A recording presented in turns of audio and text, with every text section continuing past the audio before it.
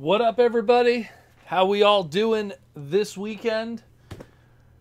What a crazy week it's been for me. Oh my goodness. Um, last we talked, uh, I had not gotten a certain big figure. And then, literally two days after that, the whole world was turned upside down, so to speak, and I was wrestling a figure like a little infant.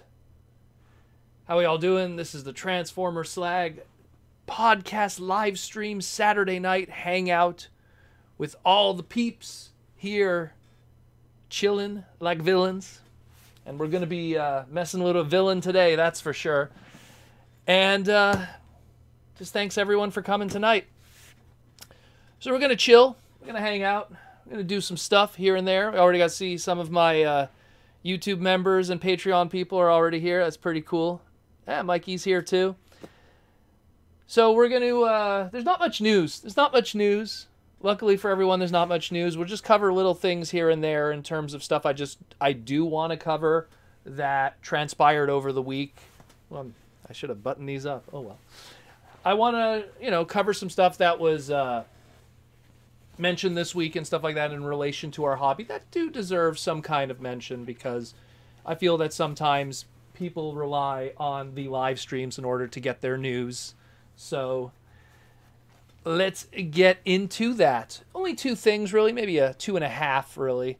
So, how we all doing? Let's do that. Some of the news. The first thing I wanted to cover, and we touched on it early this week, and it's that of we finally have the final images of the Beast Wars vintage line, Hasbro reissue line of Optimus Primal, the Ultra class. Now, I want you to keep in mind with the image that I posted here, uh, the top is the reissue itself that will be available in Walmart, and the bottom is what the original 1996 Kenner version was. I just want to have it here just so you guys have a bit of a understanding of how different the packaging is going to look, especially if you're someone who already owns that product and wants to know what will you be getting that is different. So, to start with, if you look already from the packaging standpoint, um, it's going to be larger. The the new reissue one, the packaging seems much larger than that of the original. It's probably just how the shipping and case assortments work with this. I mean, I, I don't know what what their logic is with making a larger packaging, but that's what they want to do. But most of us don't really care about the packaging. It does look really nice, but it is what it is, like I always say. Getting to the figure itself and the big deviation is that of the blue plastic used for the accessories, the swords, the missiles, the hilt of the mace.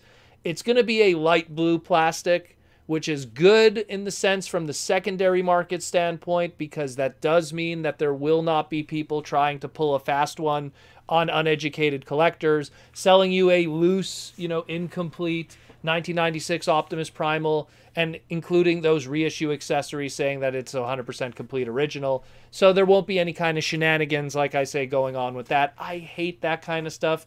It bothers me whenever I see people selling G1 reissue accessories with a G1 original body and saying it's 100% complete. I hate that kind of stuff, especially for people that are purists and completists.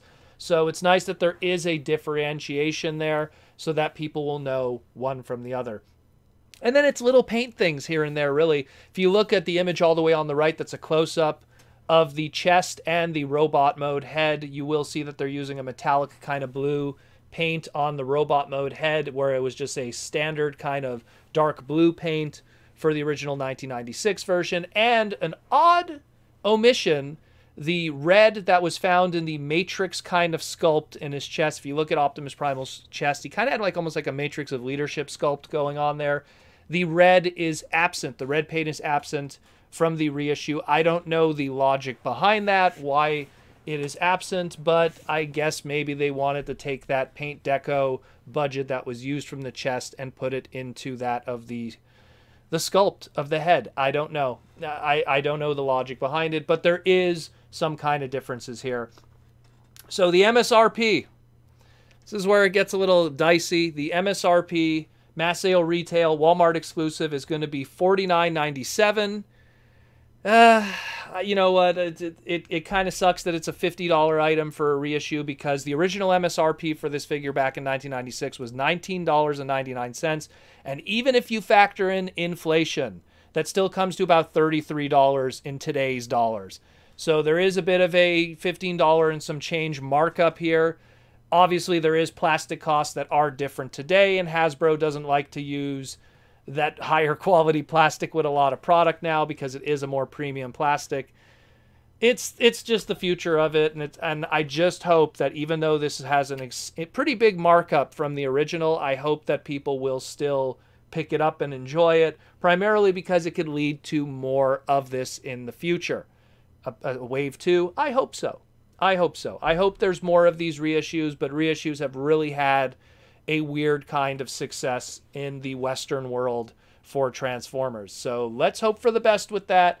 I mean, I'd like a wave two.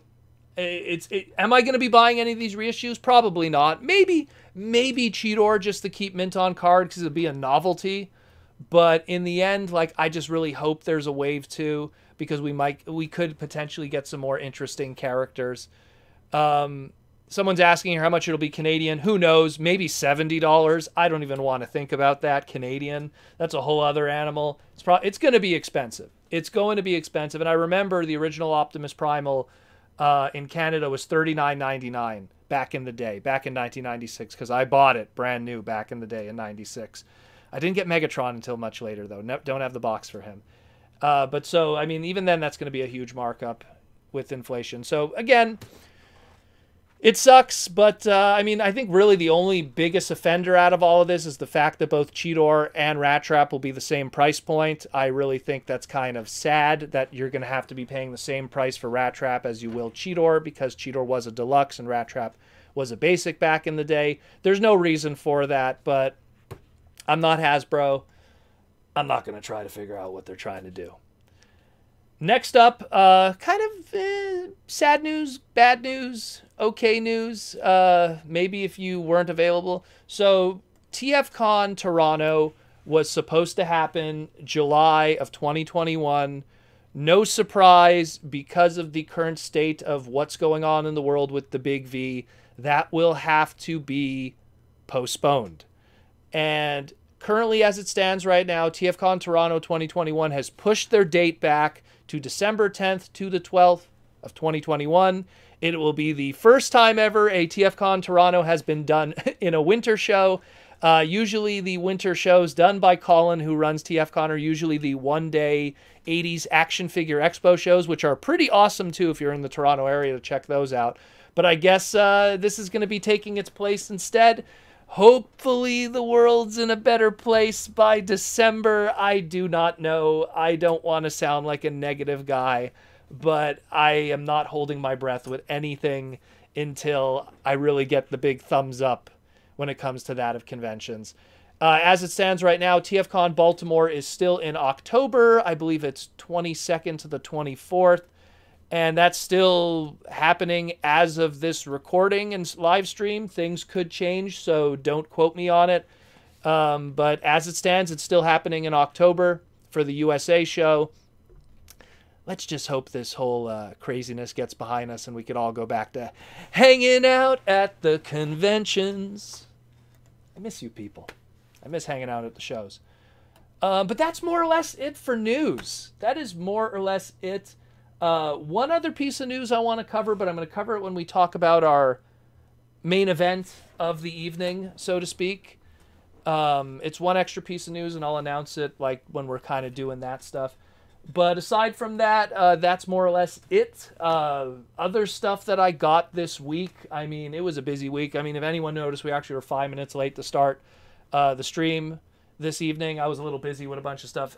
You know what? Like Saturdays are the, the one day out of the week I really get a chance to do everything grocery shopping, you know, clothing shopping, toy hunting, anything. It's the only time I really get time to do that. Now that uh, anyone who was watching my Twitter, I had grass on my lawn, then I had snow on my lawn, and now I have grass again. So guess who's mowing the lawn tomorrow for the first time uh, in a while? So that's going to be that. But I did pick up some stuff um, it came in the mail. I want to say Tuesday. Uh, essentially Toys R Us was doing a you know us Canada we still have Toys R Us. Uh, trust me, it's ne- it's never been as good as America. So don't th- don't envy us. um, Toys R Us was doing a clearance on a lot of their deluxe class stuff, specifically their uh, Generation Select stuff, because that's really the only way a guy in Quebec could get Generation Selects is through Toys R Us. So they were selling them ridiculously cheap, the deluxes. So I jumped on a whole bunch of them that I didn't pick up. So I got I got Nightbird. That's pretty cool. I was looking forward to this one the most because I that was one of the first TFCon exclusives I got to work on was the Nightbird one. So I'll, like to do a nice photo shoot of all of them.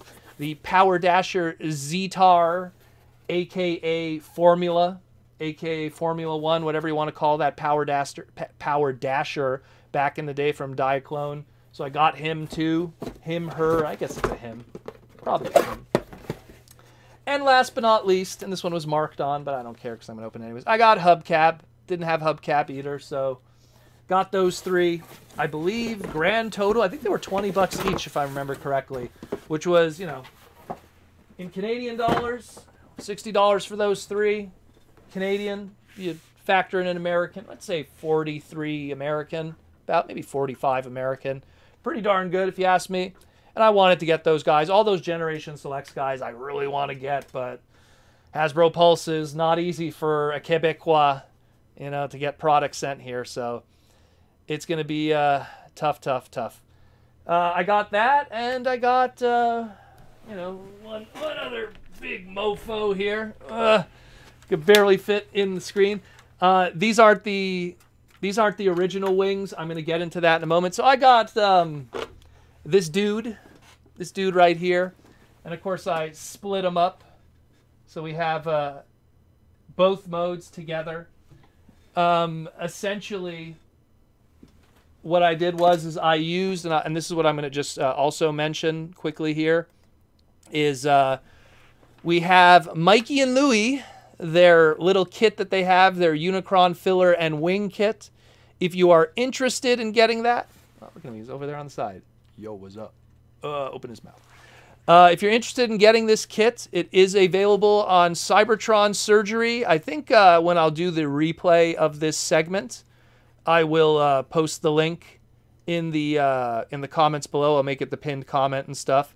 But so you could get the upgrade kit, which is essentially a filler. You get wings and everything like that. Ignore mine. In all honesty, mine is a little rough, but uh, it's it was literally the prototype of it in a lot of ways. The first kind of versions of it. I'm pretty sure this will be perfected by the time uh, this comes. But I mean, look at this big mofo. So you pretty much you take off the pieces here, which by the way are extremely easy to take off. You you need a Phillips screwdriver, like a very basic Phillips screwdriver, a tiny one and that's it. And then you just kind of pop these ones. They pop right off. The kibble that would have been on the back here was one Phillips screwdriver. I leave the screws in, by the way, just so you don't lose them if ever you want to change your mind. And you get a crazy big mofo that could just sit on your shoulder here for the rest of the podcast if you want. Um, but he's big, he's crazy, uh, and pretty cool. I mean, I'll be honest with you guys. I'll be straight up honest with you. Like, it's not worth like 600 American. I'll, I'll be honest with you. Um, it's a four like, and I, and I understand you're not going to be able to find it for four hundred dollars. But if I had to really put a price to it, it's a four hundred dollar figure. It really is. I mean, it's cool. It has a lot of little gimmicks and bells and whistles. But you know what though? The sad thing is, is that um, depending on who you talk to, some people got perfect versions, some people got versions that had QC issues. I was lucky. I have one issue, one problem with mine, one problem with mine, but it's not even the Unicron itself. It's the most smallest, stupidest thing, but I did notice it. So let me just put this bad Mamma Jamma back down. He weighs a ton. And then, of course, I'll just uh, show you again. There's the planet mode, which you could have absolutely separately if you wish with that upgrade kit. So it's like having two figures in one. It's pretty cool. I dig it. It's cool. But at the end of the day, I think maybe $600. Well, especially for me, 600 bucks. Quebec taxes, and man, did they nail me with those Quebec taxes. Quebec taxes, and uh, and then that shipping and everything. I think it came to almost after exchange around that time two years ago because it was literally we were waiting two years for this. Um, it came to almost about a thousand dollars, probably like nine hundred and some change at the end. But it was a big mofo. But I mean, I think that what really helped the six hundred dollar American price point is being able to have those two modes separately. But it created a new problem for me because originally I was planning to display it on this wall up here, this big empty wall. Now that I know that I can have it in both modes, I'm just going like, oh man, I don't think there's space on this wall. I really don't. This the planet mode is massive, and to me, that's the biggest selling point is the planet mode. Granted, the Unicron figure is the biggest transformer ever made, but at the end of the day, you know, it's that planet mode. The planet mode is the selling point. It's got that opening gimmick with the maw, which is pretty cool. I don't care about like the fact that it's not all colored in and stuff. It, it's not even really noticeable with me. I don't care about that. But you want to talk about my QC issue and stuff that wasn't colored in? So you had the little minifigures that if you you know you could breathe and you'll lose these. My Galvatron's base is not painted in. It's orange. Everyone else's that I've seen online is completely purple. So I don't know what happened to my gal like that's my only QC issue. My little Galvatron, my little little Galvatron that like, you know, if I could breathe this in, it's so tiny. Uh, his base wasn't painted in. That's my big thing. I ha- I've seen other people's images; theirs have purples, so I guess I wasn't lucky with that. But it's, I mean, that's the only issue I've really had with it. Otherwise, everything else is great. It looks awesome. I mean, I'd pick up and bring that planet mode over here, but that thing is like 20 pounds. It's it's huge, and it wouldn't even fit in the shot. Like it's it's huge. What I want to do is I want to take a photo with the with the original uh, Unicron. Oh god, you can barely see it there uh, because I have the one that comes with the Unicron.com stand from the Lucas brothers. So it'd be really cool to have that with the stand with this one and have a nice like little before and after photo. I plan to do that. I'm gonna probably do it maybe tomorrow. I'll take that nice little photo because this thing is huge. It is massive. I think that part of the reason why some people have been reselling it is just because after they got it, they went, man, where do I put this thing? Where do I put this thing? Oh, General Techno, yours is orange too? Is it a Canadian problem? Did they send Canadians orange bases? I need I need confirmation. I need confirmation from other people because I'm seeing some people's photos, but the thing is the photos that I saw of other people, they were either factory stolen ones or people got them early or something like that. So I don't know what's the story with that. But I mean I that's the only QC issue I could think of. Otherwise everything else has been fine on it. Um, and it's a big mofo. It took me no joke taking it out of the package, reading up all the. It probably it was like a three hour stint. it just like it just put it, I put that all aside for the rest of my day. It really did. It just it it messed everything up. But mm. um, I just want to also just show another thing too, just for a scale uh, point of view. So here's the head. Here's the head of this one, and um, this is the head of the. This is the one that came with Primus specifically, but to give comparison, it is the same size of like let's say all the other ones. So just to give you an idea of size, so that's pretty much like almost Armada Unicron's head sculpt, also the same scale. So it's a little bit bigger, you know. At the end of the day, a little bit bigger. And of course, you know, people are complaining about the fact that it's not painted inside the mouth there, but I don't know. It's it's again, like I said, me personally, me personally, guys, I think it's a four hundred dollar item. Dreamers out there says my Galvatron base is orange too. All the best. Thank you, Dreamer. A Dreamer, are you also in Canada or are you based in the United States of awesome? I'm curious because uh, maybe it was a different run. I don't know. It's just I found it weird how because you know Roddy's is perfectly. I mean, if anyone saw my like world's smallest Rodimus shot that I did, uh, Rodimus is completely red. But why does Galvatron have an orange base? That's very weird. Very very weird. Unpacked Hasbro Lab, HasLab Unicron. How many bottles of water did you drink? From Michael Koo. Thank you, Michael. Um, I only had one bottle of water, but man, I had to do like I actually I only have the photo of it. It was funny because Um, I'll, I'll literally show you this text message. I'll show you it. Hold on. Show you guys a text. It's a funny one. So um, I was getting a whole bunch of text messages when I was messing with it, and it was always like, so this one's from my sister. I have to, does it show the phone number? I don't want to give away her number. So that was me in the kitchen. I literally had to like make space in the kitchen because there was just no space to like, and I wrote busy. No way. so that's why when it showed up, uh, it was a big deal in the Protoman household.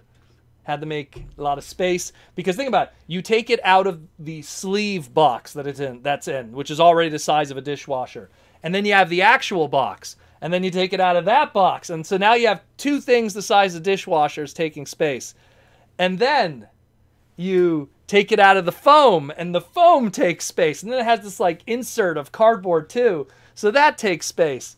And then you take out the giant ball that is unicron and then you put all the pieces everywhere. It's like you need like a whole living room space just to like do this job. And then you know i was i was doing it with kids gloves. I want you know spent big money on this. Oh you're in texas. Okay cool. So maybe i don't know. Maybe we got a different run it's weird because I'm seeing different photos with different things. Either way. Hmm, very weird. Thank you for that, by the way, because I'm trying to get more info on it, and unfortunately, I don't know many people that bought one. So it's it's something where I don't have enough uh, information to really compare. Like, I mean, this the numbers that we know online, the estimation is approximately there's about 4,000 of these that probably were made and sold, but we don't know exactly. We don't know the exact number. Some say 8,000, some say 12,000. We don't know. You know, the numbers were fudged a little bit, some people say too. You know, so it's hard to say.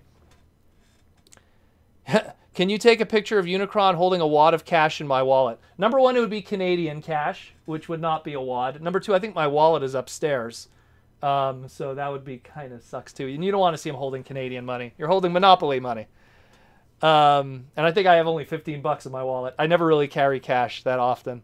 Everything is card. If you know how to manipulate the money, um, that's a whole other conversation. He's orange. Yeah, he is orange. He's very orange. But uh, it's pretty cool. It's pretty cool. Look, it's it's it's awesome. He's definitely bigger than uh, Fort Max and Titan uh, Metroplex, so it is the largest transformer officially uh, at this moment if you don't count statue stuff. I've seen some crazy Transformer statue stuff that's still pretty large. The one by four scale stuff is stupid. Um, but it is the largest transforming transformer ever made. Again, I, I feel I feel that this item, no joke, guys. If this thing would have came out 10 years ago, this would have been a $400 American retail item. I just feel that it's kind of a product and priced for its time and everything like that. But I really don't think it's a $600 item. I really don't. But I mean, again, having that, you know, Mikey and, and Louis, you know, little thing, I'll plug it again, you know, go to, uh, uh, where is it? I lost the link there. Go to uh, Cybertron Surgery and pick it up. I mean, that really helped. By having both modes displayed at one, it, it kind of it makes it feel a little better picking it up. Which is the correct for Unicron, orange or yellow? Depends on what moment in the movie. Do you know Unicron has like 14 different shades of blue in the movie? Look at the opening scene. Look at the scenes that were used for the transformation, which were also used for the prototype trailer. And then you have different scenes like before Junkion and after Junkion. There's all kinds of different colors. Unicron and Hot Rod, there's all kinds of different colors and different palettes and everything like that from Toei from the movie, from the 86 movie specifically. I don't want to get into uh, AKOM Productions and uh, season three because that's a goddamn mess. But that's a whole other story. But uh, I dig it otherwise. I think it's cool. I think it's cool. It's just, uh, I don't think it's $600 cool. That's all, more or less. And that's all I'm going to say about that. The last thing also is you got the cool little stand. You got the little Autobot ship and then uh, hopefully we'll have more ships in the future. Although people were reporting that you can't put the Galvatron ship on this, so what was the point of that then? By making it look like the Revenge if you can't even put it on this thing? I don't know. And then you got also like the the extra face pieces and stuff like that, and Then you got also, I didn't do these yet. I don't know if I want to do these because I'm such a weirdo. Uh, all the filler holes. So any of the little holes that have screws and stuff, you could actually fill them up and cover it, which is a nice extra touch too. Um, but otherwise, I don't know. It's, it's good. It's good. It's good. I'll be honest, you know, like some people, they're going to say it's great because they made the investment and they're not going to be honest with you. They'll be like, oh, it's the greatest thing ever. Oh, I love it. You know, totally worth the $600. Eh, me, I'm, it's okay. It's okay. You know what I mean? Like when I, when I bought that boy right there, Energon, Energon, uh, Armada Unicron all those years ago, no joke, I paid $100 Canadian from it, secondary market, because some guy got it in the States. Shout out to uh, Plastic Junkie in Montreal. That's literally his screen name, Plastic Junkie, Rob.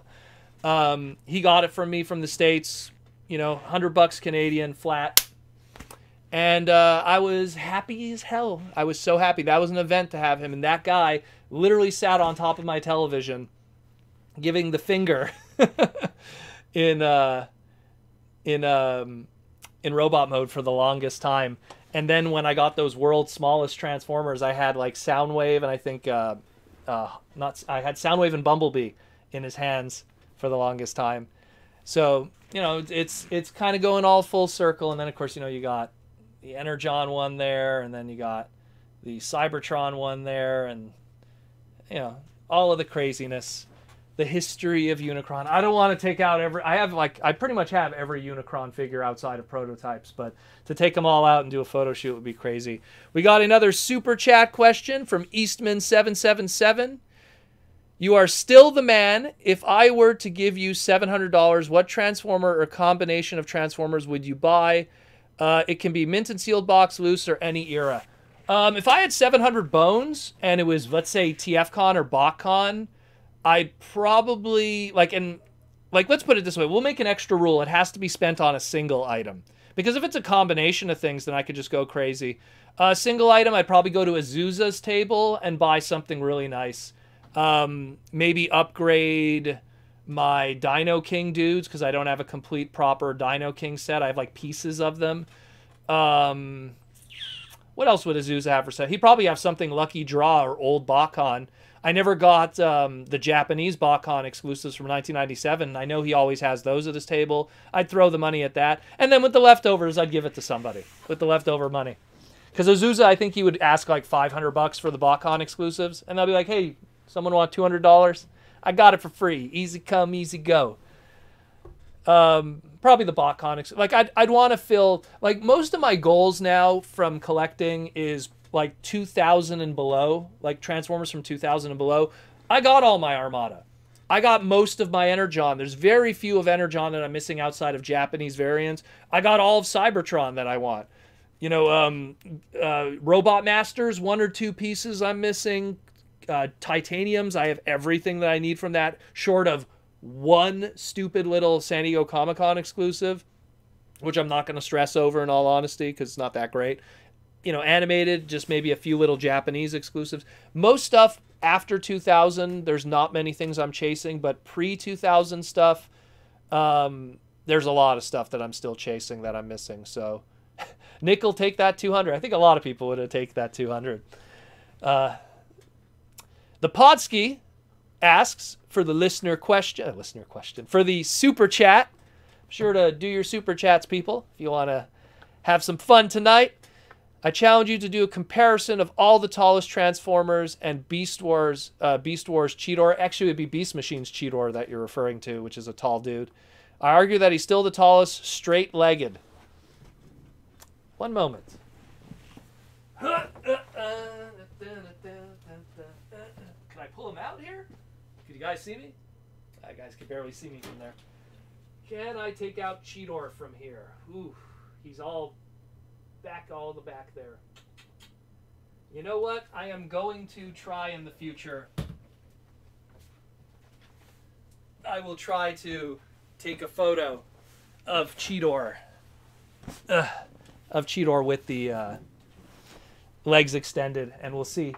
I'll be honest with you, though, in all honesty, Podsky, I'll be honest with you, I think Cheetor's going to win. He's going to win because of those skinny legs, but I think he's going to win because those are some long legs that he's got. No joke. I think he could pull it off. Now that I'm looking at I'm looking at the two, I think so. I think so.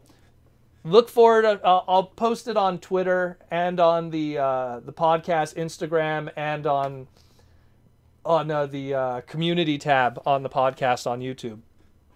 I'll try to do a photo of it. I'll have to remember because the problem with Cheetor is he's he's in the like uh, the Beast Machine section and Beast Machines because it's such a small line. I like tucked him in the corner because he's a big figure, but I don't want to have him in robot mode. I put him in cat mode and I kind of put the figures around him, so that's kind of annoying.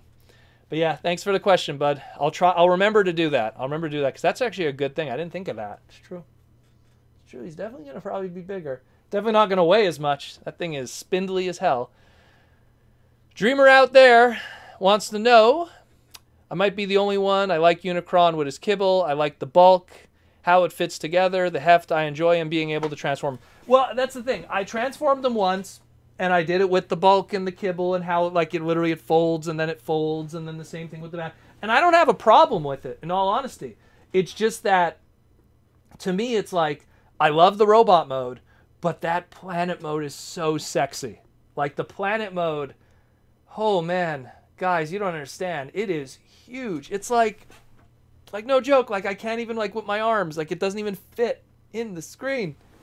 Like uh, I'm gonna I'm gonna try to bring it. I'm gonna try. This thing weighs a ton. I know I'm gonna drop everything and then it's gonna split apart. But oh my god, he's heavy.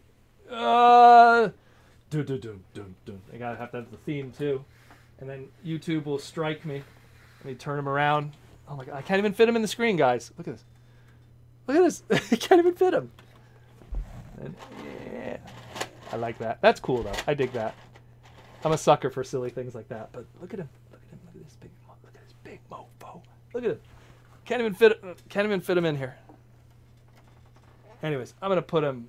I'm gonna put him back before I break my neck. All 20 pounds of his madness.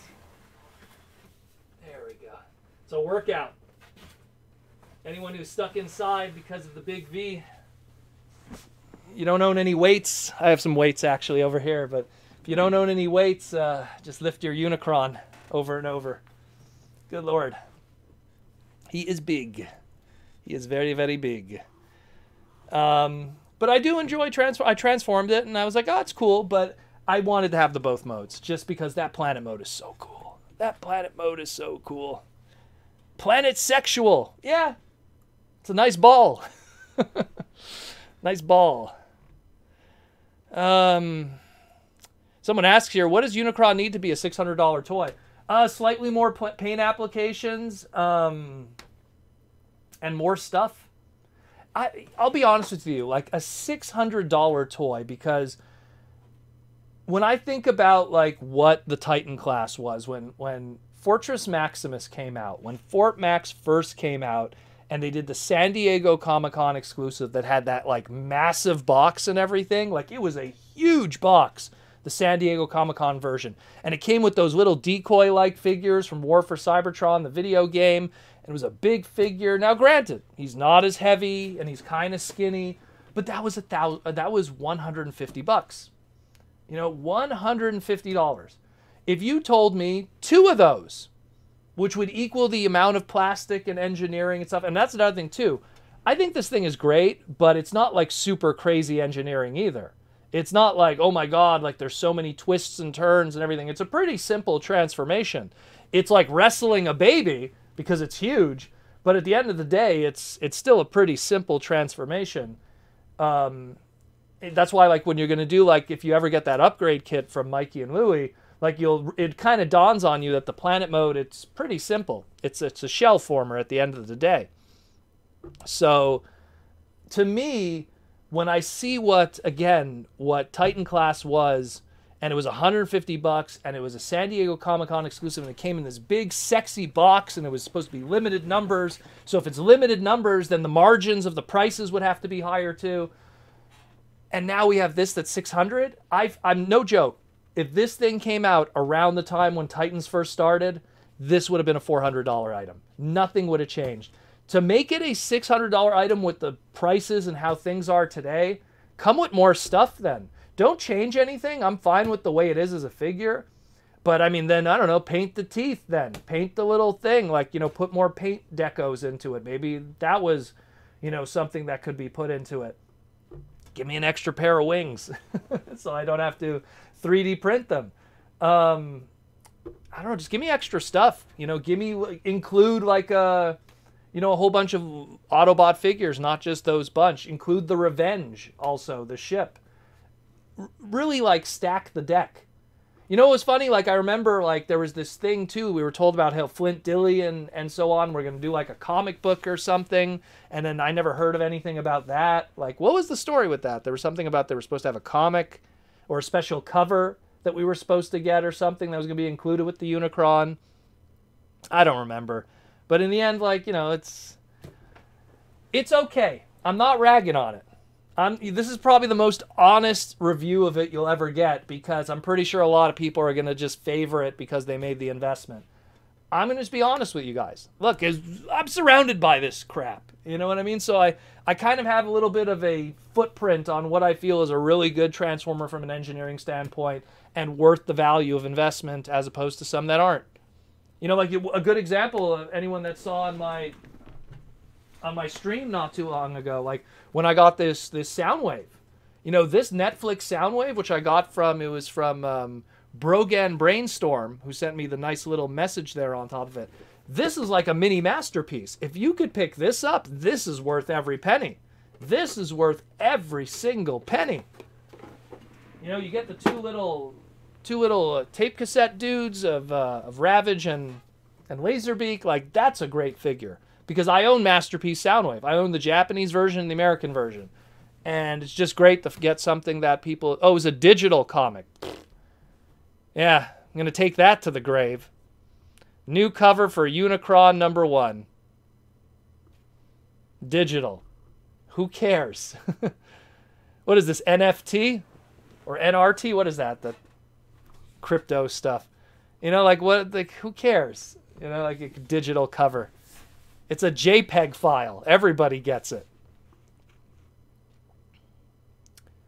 What if the BotBots shopping mall is a Titan? I wish. I love that thing. That thing looks really cool. That little display that they had at a Toy Fair. I'll give you 400 for the Yeah, but then you'd have to pay shipping, which would be another 200 anyways.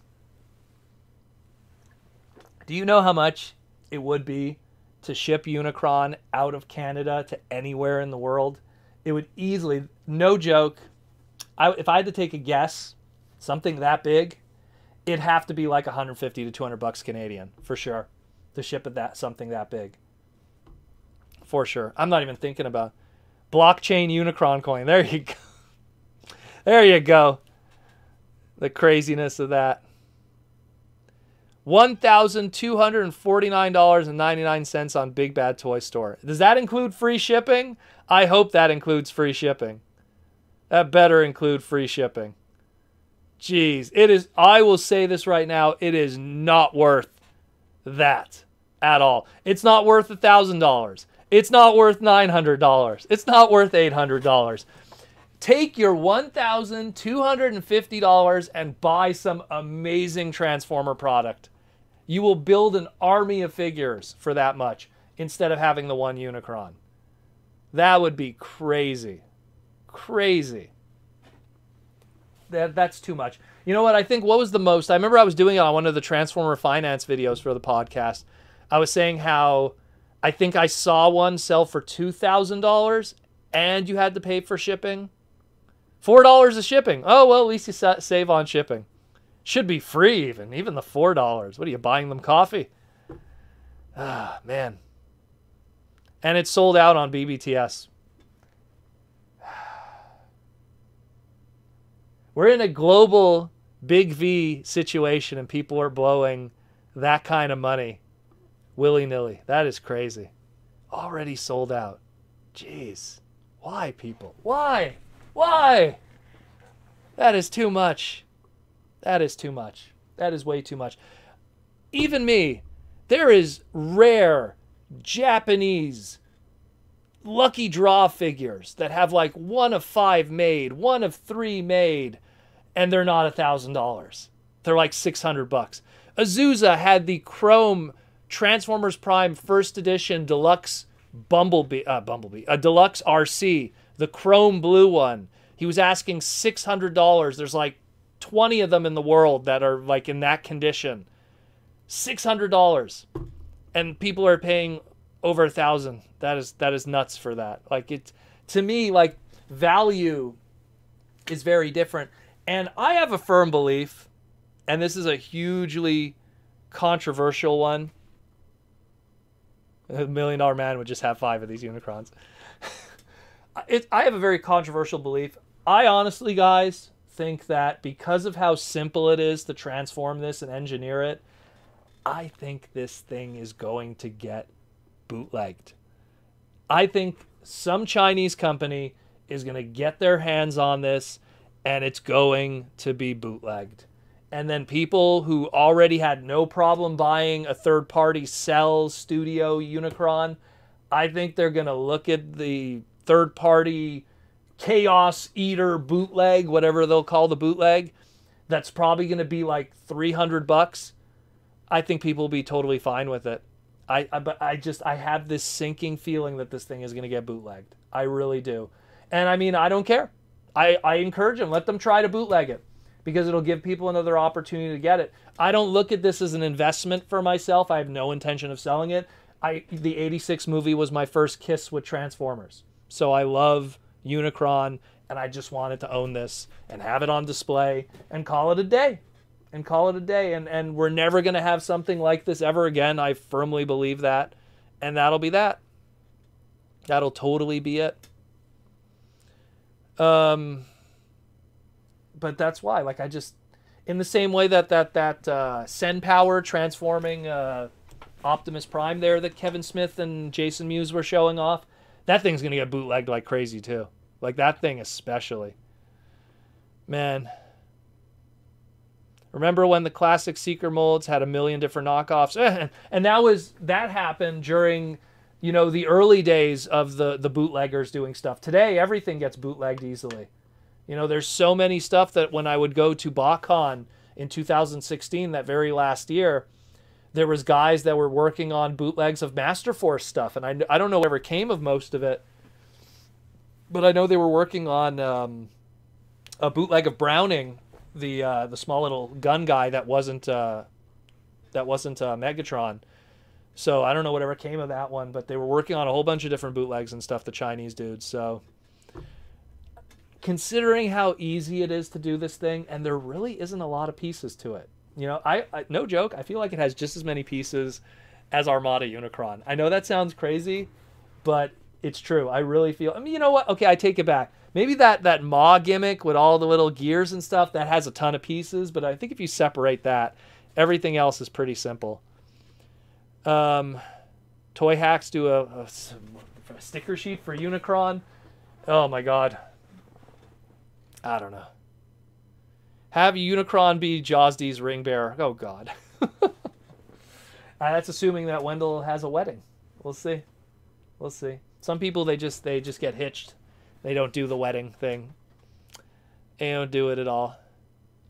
Yeah, work in progress Browning bootleg. I forgot whatever if that came out. Yeah, me neither. Well, because that I remember seeing the prototype in person at uh, BotCon 2016, and it was at a room party, and of certain individuals who people who know the third party guys, they know who I'm probably talking about. I don't want to name them, get them in trouble, but so they were working on Master Force stuff uh, not uh, Black Zarak though, but a lot of the other more popular characters and everything. And uh, I don't know whatever came of that because I mean I have you could barely see him. Oh geez, you could barely see him. But there's my Browning. That's the original one. It's in gun mode. It's kind of hard to see, but you know, it'd be cool if there was a if there was a bootleg, so then I could get some of the pieces I'm missing. Because I ain't gonna pay like sixty dollars for a Browning fist or something. Uh, we got a super chat question from Mike Wells. Thank you, Mike, for the super chat. What is your favorite Megatron and Prime that that is that's closest to the cartoon minus masterpieces? What's your favorite Titan? Not Unicron. Well, I don't even if I counted Unicron, I wouldn't count him as my favorite Titan.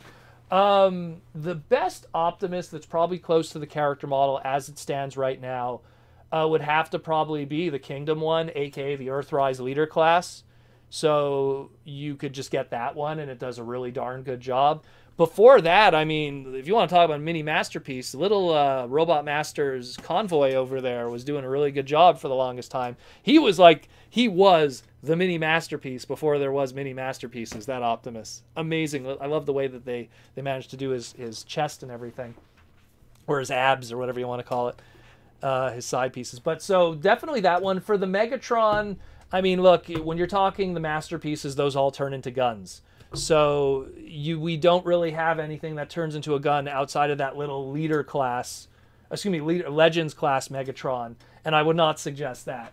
Uh, probably the Earthrise Megatron is probably about as good as it's going to get for now, in terms of official Megatron product that looks like, let's say, the the character model from the G1 cartoon. But then again, it still doesn't turn into a tank. So there is that caveat that's a bit of an issue. So, but I'll go with I'll go with stuff that's recent. Kingdom slash Earthrise leader Optimus mixed with the um, Earthrise Megatron. That would probably do a good job. And the Earthrise Megatron's pretty good. I like it. I like it good. It's good. But I mean, it's not perfect. And again, because nothing turns into a gun outside of those masterpieces, and we can't count masterpieces.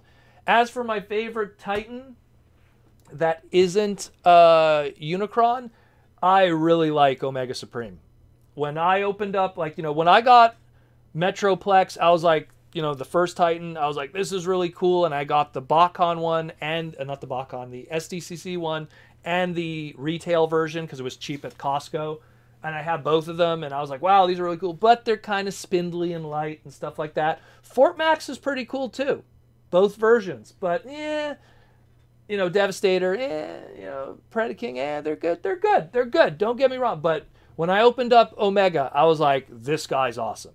Omega Supreme was really cool. I love his his base mode with the little road and stuff. I love that he comes with countdown because that countdown was a really cool little Micromaster dude from the Transformer Zone OVA series. So I think Omega is the complete package and it comes with all those extra blast accessories. Like i have my whole little this is my little box of blast accessories. Those are the omega supreme ones and stuff they're all in there. I keep them all in here uh, nearby for photography and everything.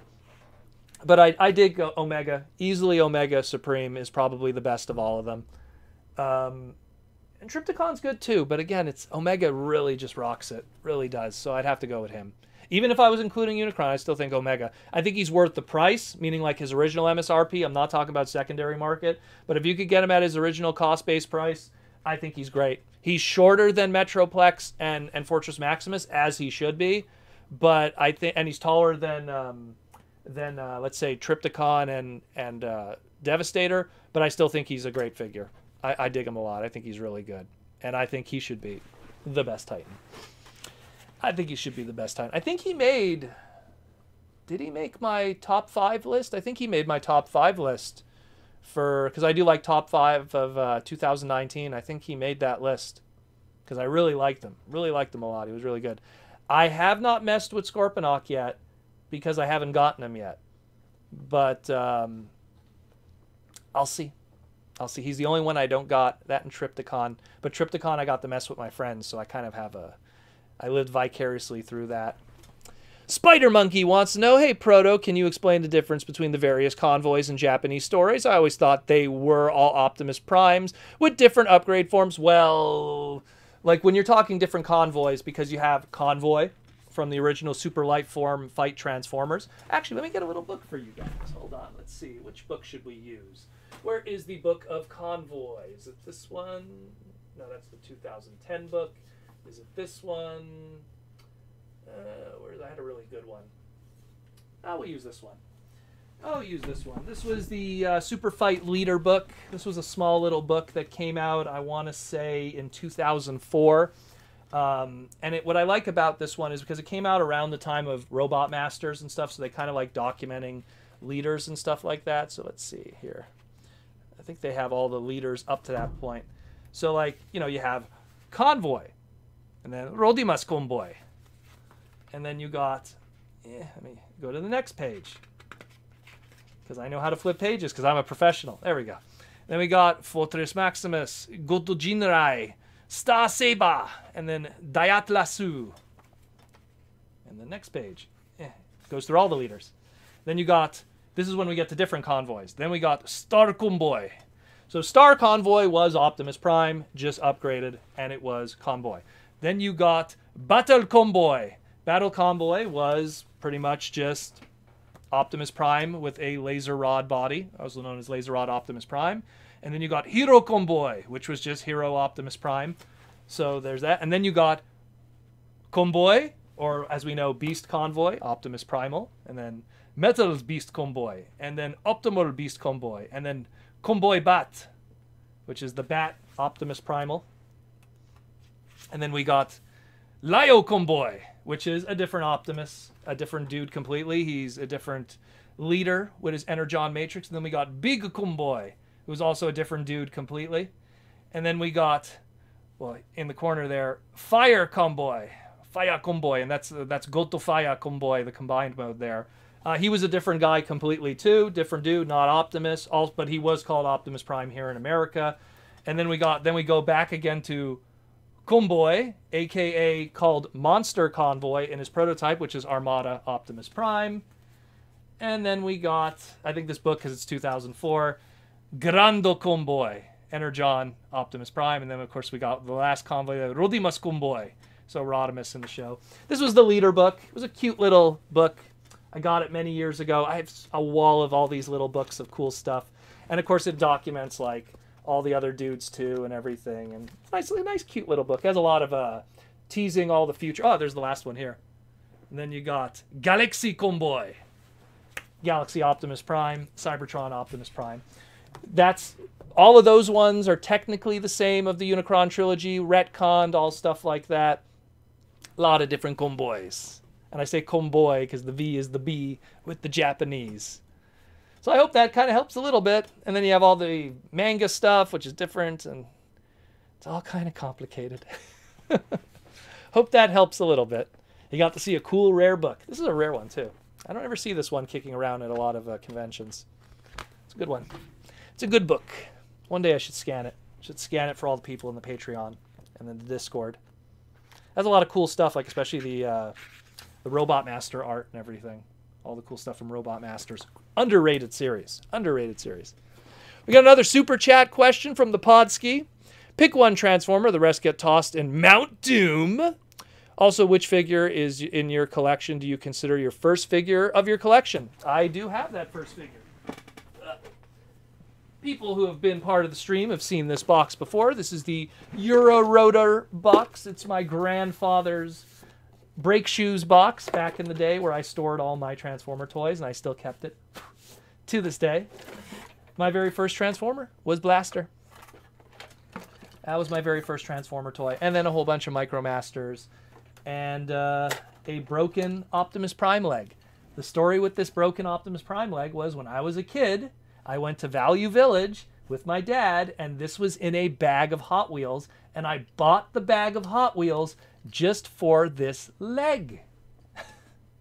Because I remembered it was Optimus Prime's leg. There is literally my entire oh, my entire Transformer collection from 1986 up until 1995. Humble yourself, Proto. That is literally everything I had up until 1995. Then the bubble was broken and I was brought back with Cheetor with Beast Wars. Beast Wars was my return. Now, obviously, what I am leaving out of this is I did have some GoBots and I did have a whole bunch of, uh, I don't want to say off brand, but like, you know, bootleggy kind of Transformers, motivators, converters. Um, what else did I have? I had a lot of like bootleggy kind of stuff too growing up. That would be facsimile Transformers in my collection. But that's my first. That is my first for sure. And what was the other part of the question? Pick one Transformer, the rest get tossed into Mount Doom. Uh, if I had to pick one, um, it would probably have to be something super rare. That would be hard to replace. It'd probably be one of the prototypes, I'd have to say. Um, maybe the masterpiece prototypes. That's a tough one. I don't know. because even the stuff that I have like signatures on the figures and stuff, like I have a signature by by uh, Yoke San and stuff on figures. Those I could get again because those dudes are still around. But uh, the prototypes I can't replace, so probably one of the prototypes. Maybe MPO9 Rodimus, because that was a gift from a friend, good friend. But yeah.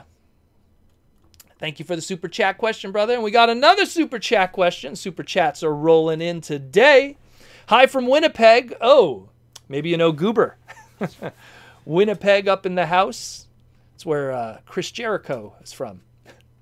Famous line. he was doing a wrestling event and someone yelled at him, Go back to Toronto! And he turns to the fan and he goes, I'm from Winnipeg, you idiot! It's on YouTube somewhere. It's really good. So if you're a Winnipegger, if you're a pegger, uh, you'll appreciate that YouTube click, uh, clip.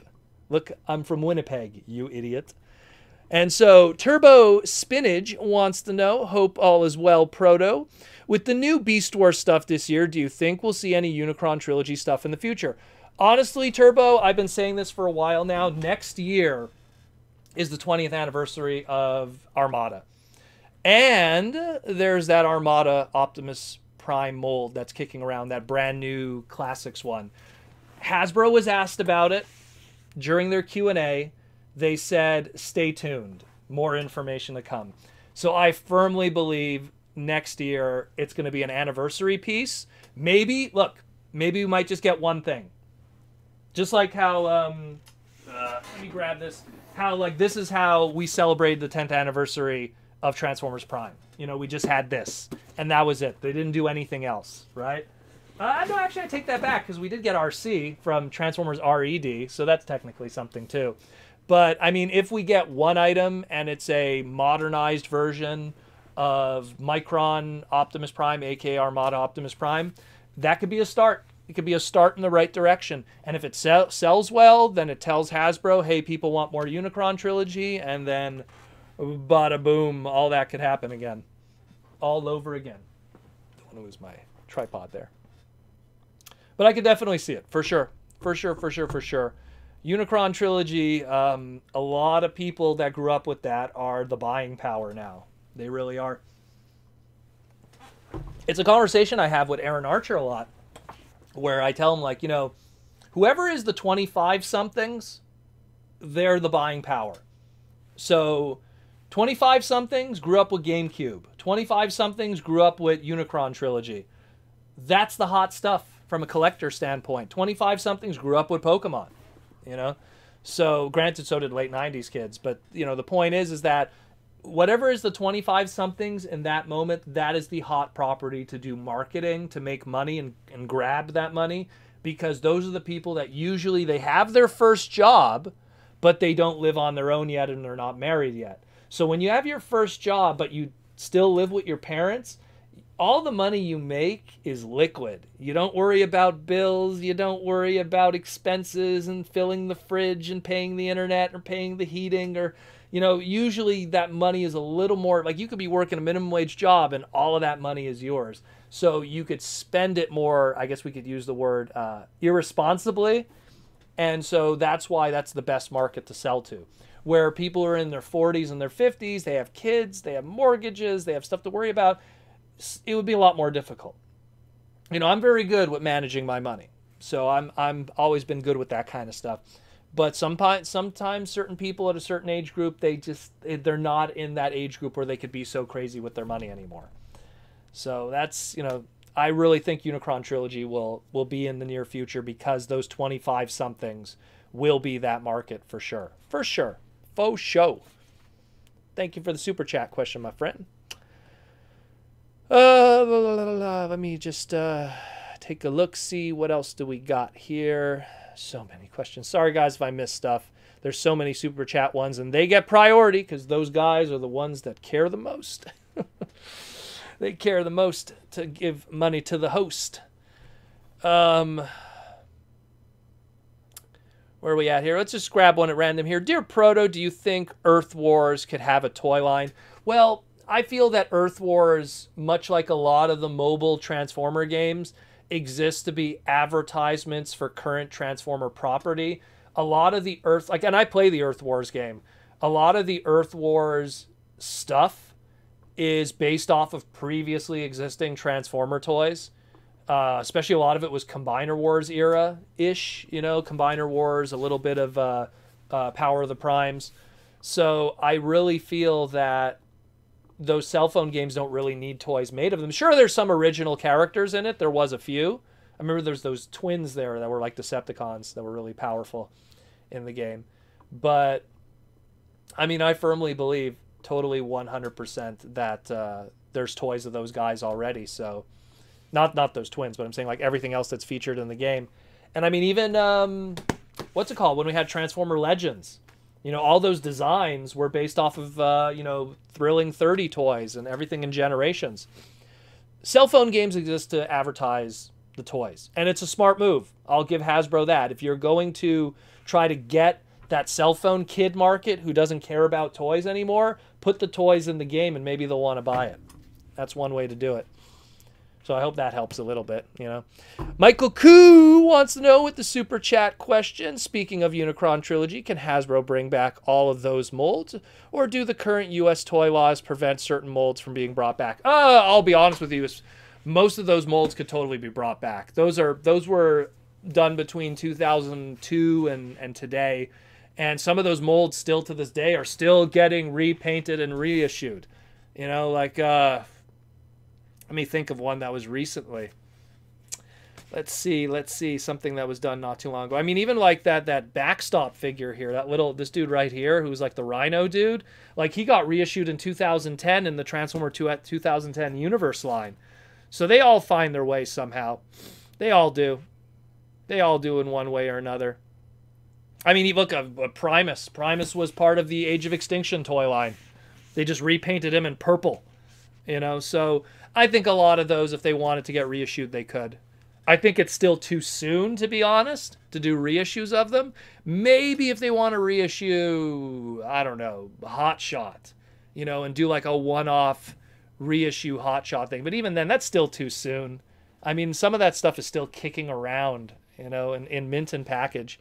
You know, Beast Wars 20 years, I can understand that, but you know, I can't I can't see that for uh, excuse me, 30 years for Beast Wars. Uh, but 20 years for Armada. There's still that stuff kicking around. Still that stuff kicking around. Uh, as for like what you're saying, laws that prevent it, nah, there's everything is still legal.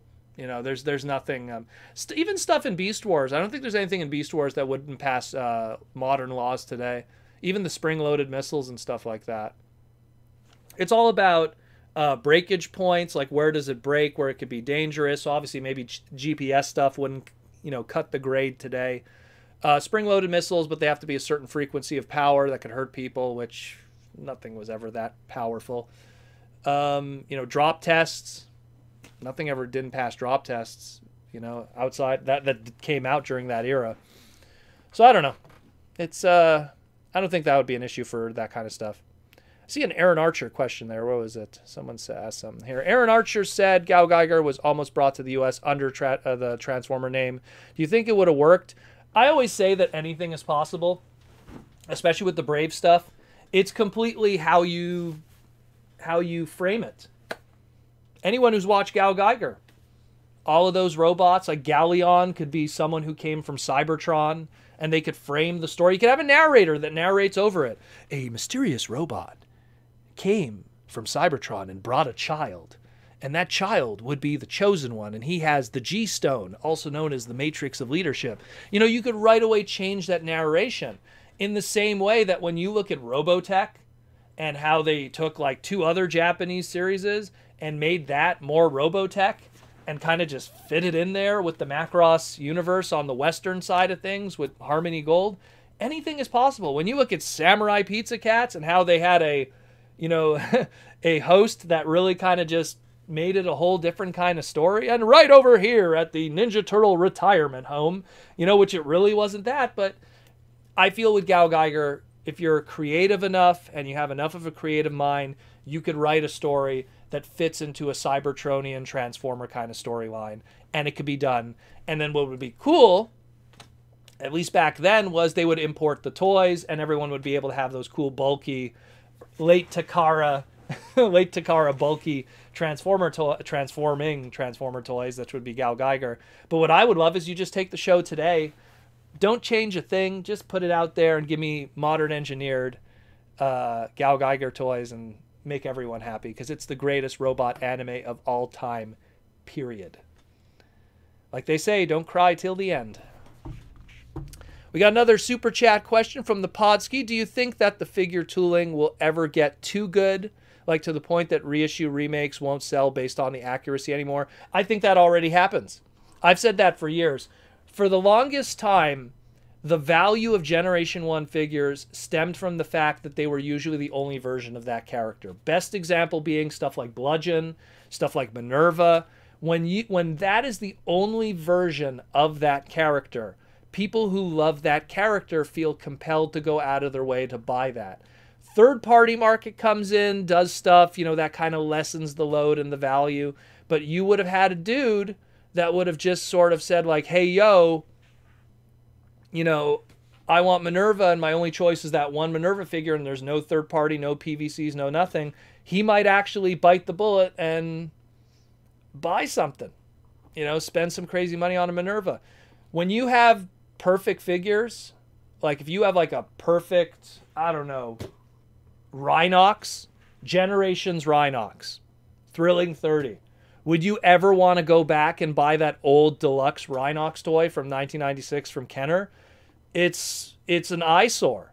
So that happens a lot where perfect versions come out and the original ones they they it's not that they lose their value, it's that they lose a segment of the audience that would have bought them because it represents that character and now there's a better version. Would anyone today buy Classics Optimus Prime? You know, 2006, people were buying Classics Optimus Prime like crazy. Would anyone buy Classics Optimus Prime if he came out today in the face of having the leader class Earthrise one, the Kingdom leader class one also? You know, it's people were trying to chase a different kind of goal back then, and it's different today.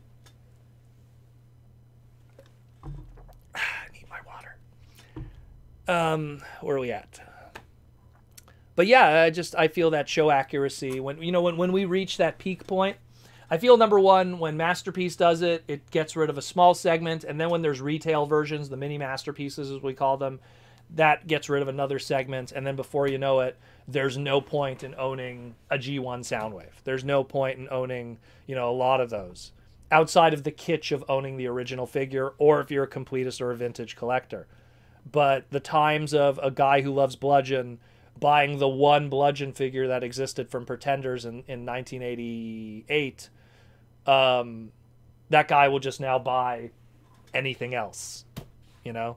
He has so many options with Bludgeon now. Uh, where we at? Where we at? Where we at? I saw something from Proto Silver. Proto Silver wants to know, hey, do you think the Power Rangers could be introduced in Earth Wars? Well, Power Rangers right now with their mobile stuff is doing a whole bunch of crossovers with Capcom. Uh, they're doing the uh, Street Fighter crossover, which Transformers has done crossovers with too. So I wouldn't be surprised. I wouldn't be surprised. Hasbro said they're going to be doing a bigger push with their mobile gaming, and they have four different companies that they're going to be working with to advertise their products through mobile gaming. If they want to do synergy and crossover with those brands, they own both. They own Transformers. They own tra- and uh, they own Power Rangers. I don't think they want to do it yet. Let those brands live independently and have build their own audiences and their own identity.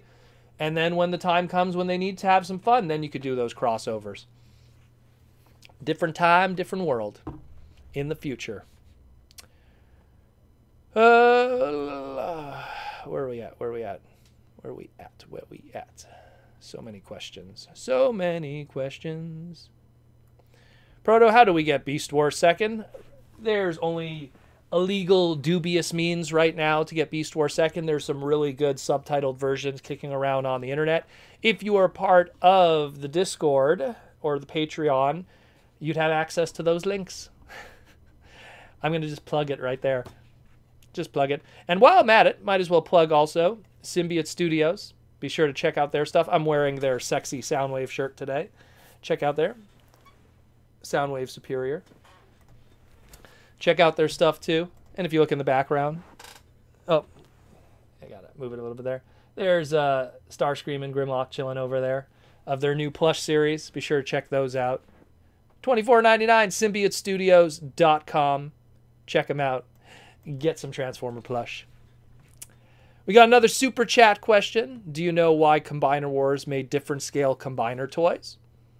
It's not that they made different scale, it's that I think that despite it being a Titan, they were because Titan is not a scale so much as it's a price point and a budget that they have to work within. So when you have stuff like Fortress Maximus and Metroplex that are pretty much retools of each other and they're able to like work with that and I look over at them just to like, you know, remind myself that especially. They're able to make them taller. When you had stuff like Devastator and Predaking that are individually engineered robots, each one transforms individually, each one has their own accessories, each one has their own paint applications, each one has their own individual robot modes and alt modes, and then they combine to make a giant robot too. The budget is spread in a different way, and as a result, it does make them smaller.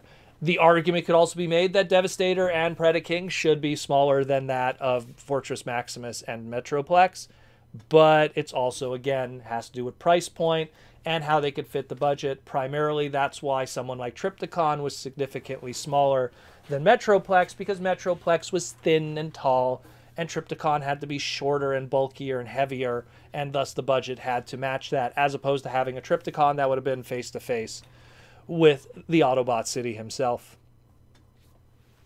But that's what I think. You know, it's it's a budgetary thing more than anything more than anything else. Proto, any thoughts why we haven't seen any Brave Maximus appear yet? Oh, the same reason why, you know, Grand Maximus didn't sell well. Brave Maximus has a primarily smaller audience of people that would care.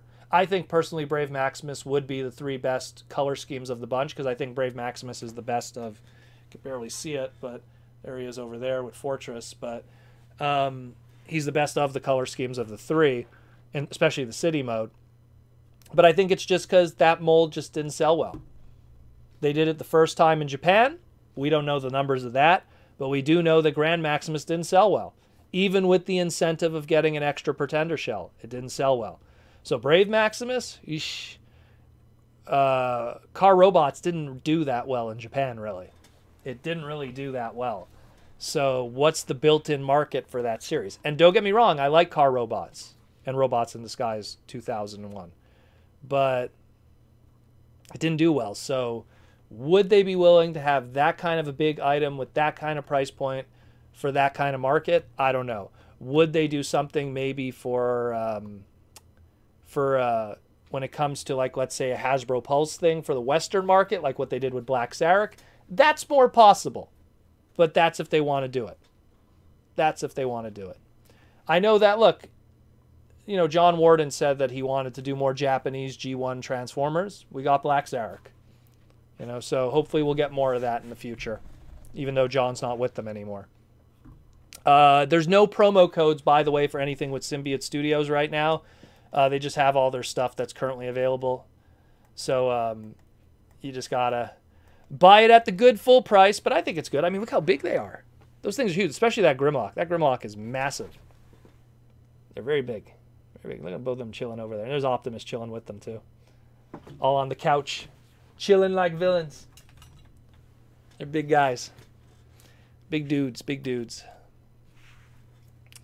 Hey Proto, would you think that a Titan tidal wave would work? Uh, if if if um, the way that I see it is if they do a Nemesis, I think that, and if they do a Nemesis and the Unicron trilogy is the crossover kind of next thing.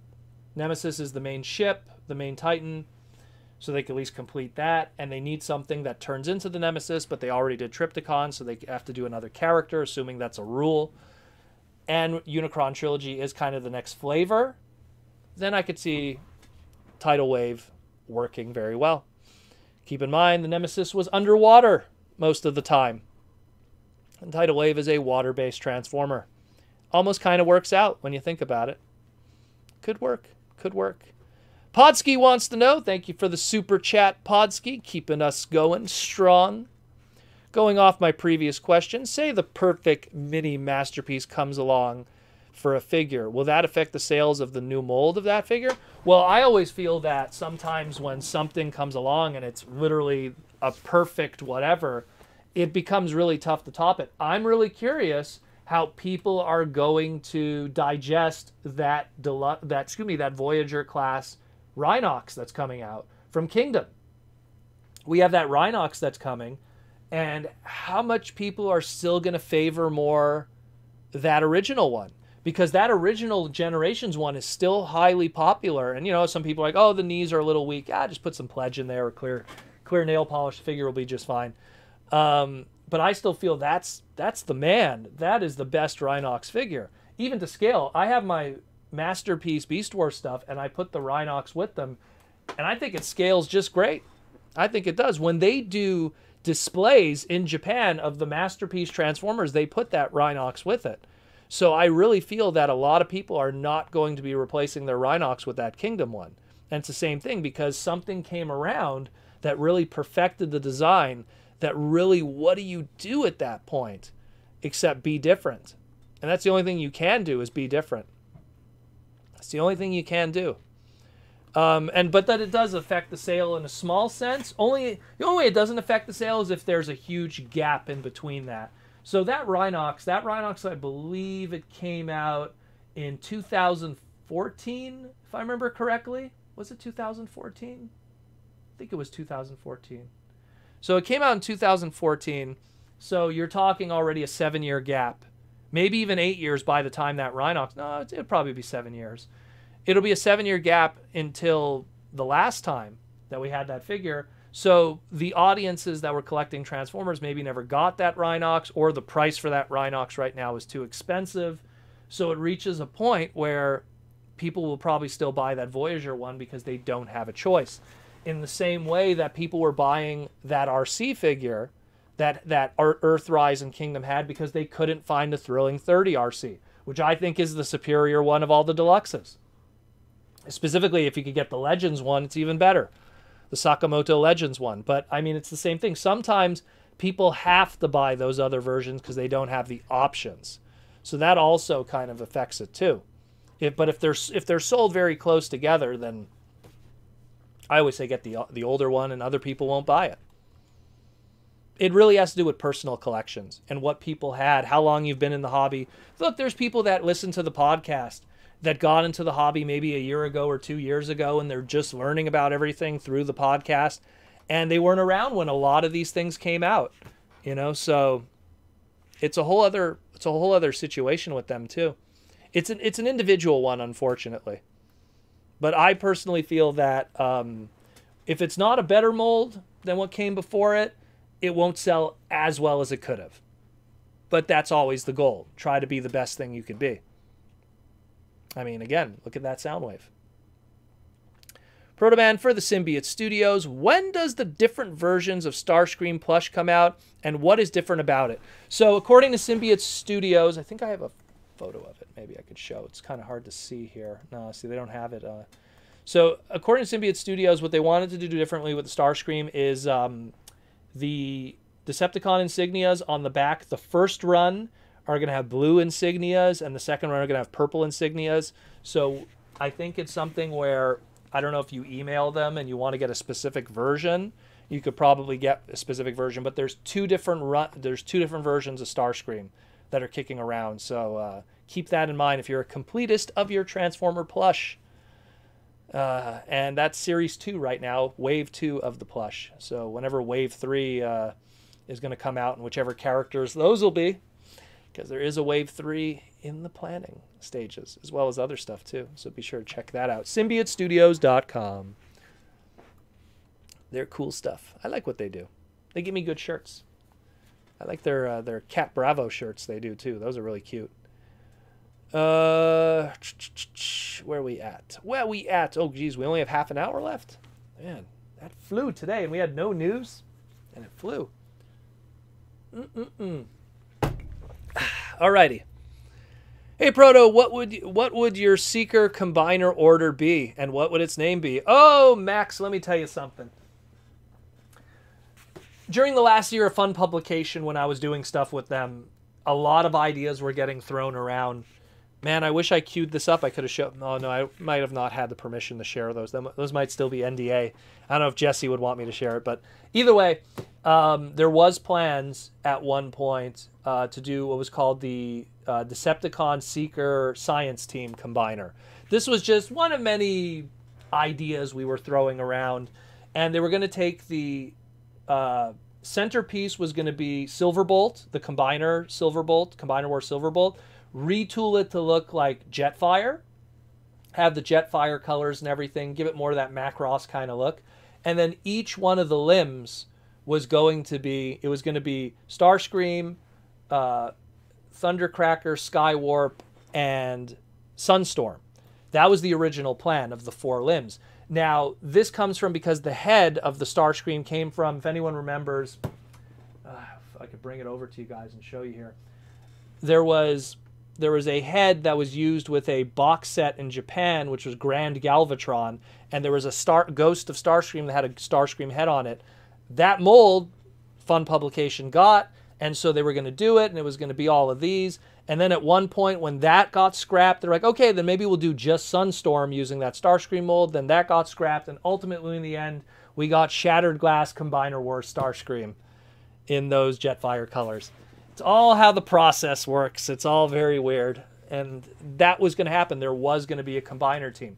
We had a name for the team, which was going to be the Decepticon Science Division, but we didn't have a name for the combiner. We never really got that far that far down in that stage of it.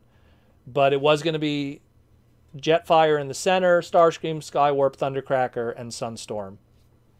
And that was it. Maybe it could have been Acid Storm, but I know we I have the CG mock-ups with Sunstorm, and then I have the CG mock-ups with Sunstorm if it would have been an individual club figure instead. Uh, and in the end, just none of that happened, unfortunately. But yeah, it was going to be something that was going to happen. If, if there would be a combiner name, I don't know. Again, going on the science thing, I don't know. You'd have to, I'd have to number one probably look at what was available with Hasbro Hasbro trademarks. Maybe we could have used a trademark name from let's say My Little Pony or GI Joe. You know, could have been called Brainstorm. Could have been called Mainframe. Could have been, you know, these are and these are things that have been used in GI Joe too. There's a character in GI Joe named Mainframe. Could have been called Low Light. You know, a GI Joe trademark. I'd have to see what trademarks were available and then work with those trademarks and then just use whatever. You could also have a combiner Airmaster.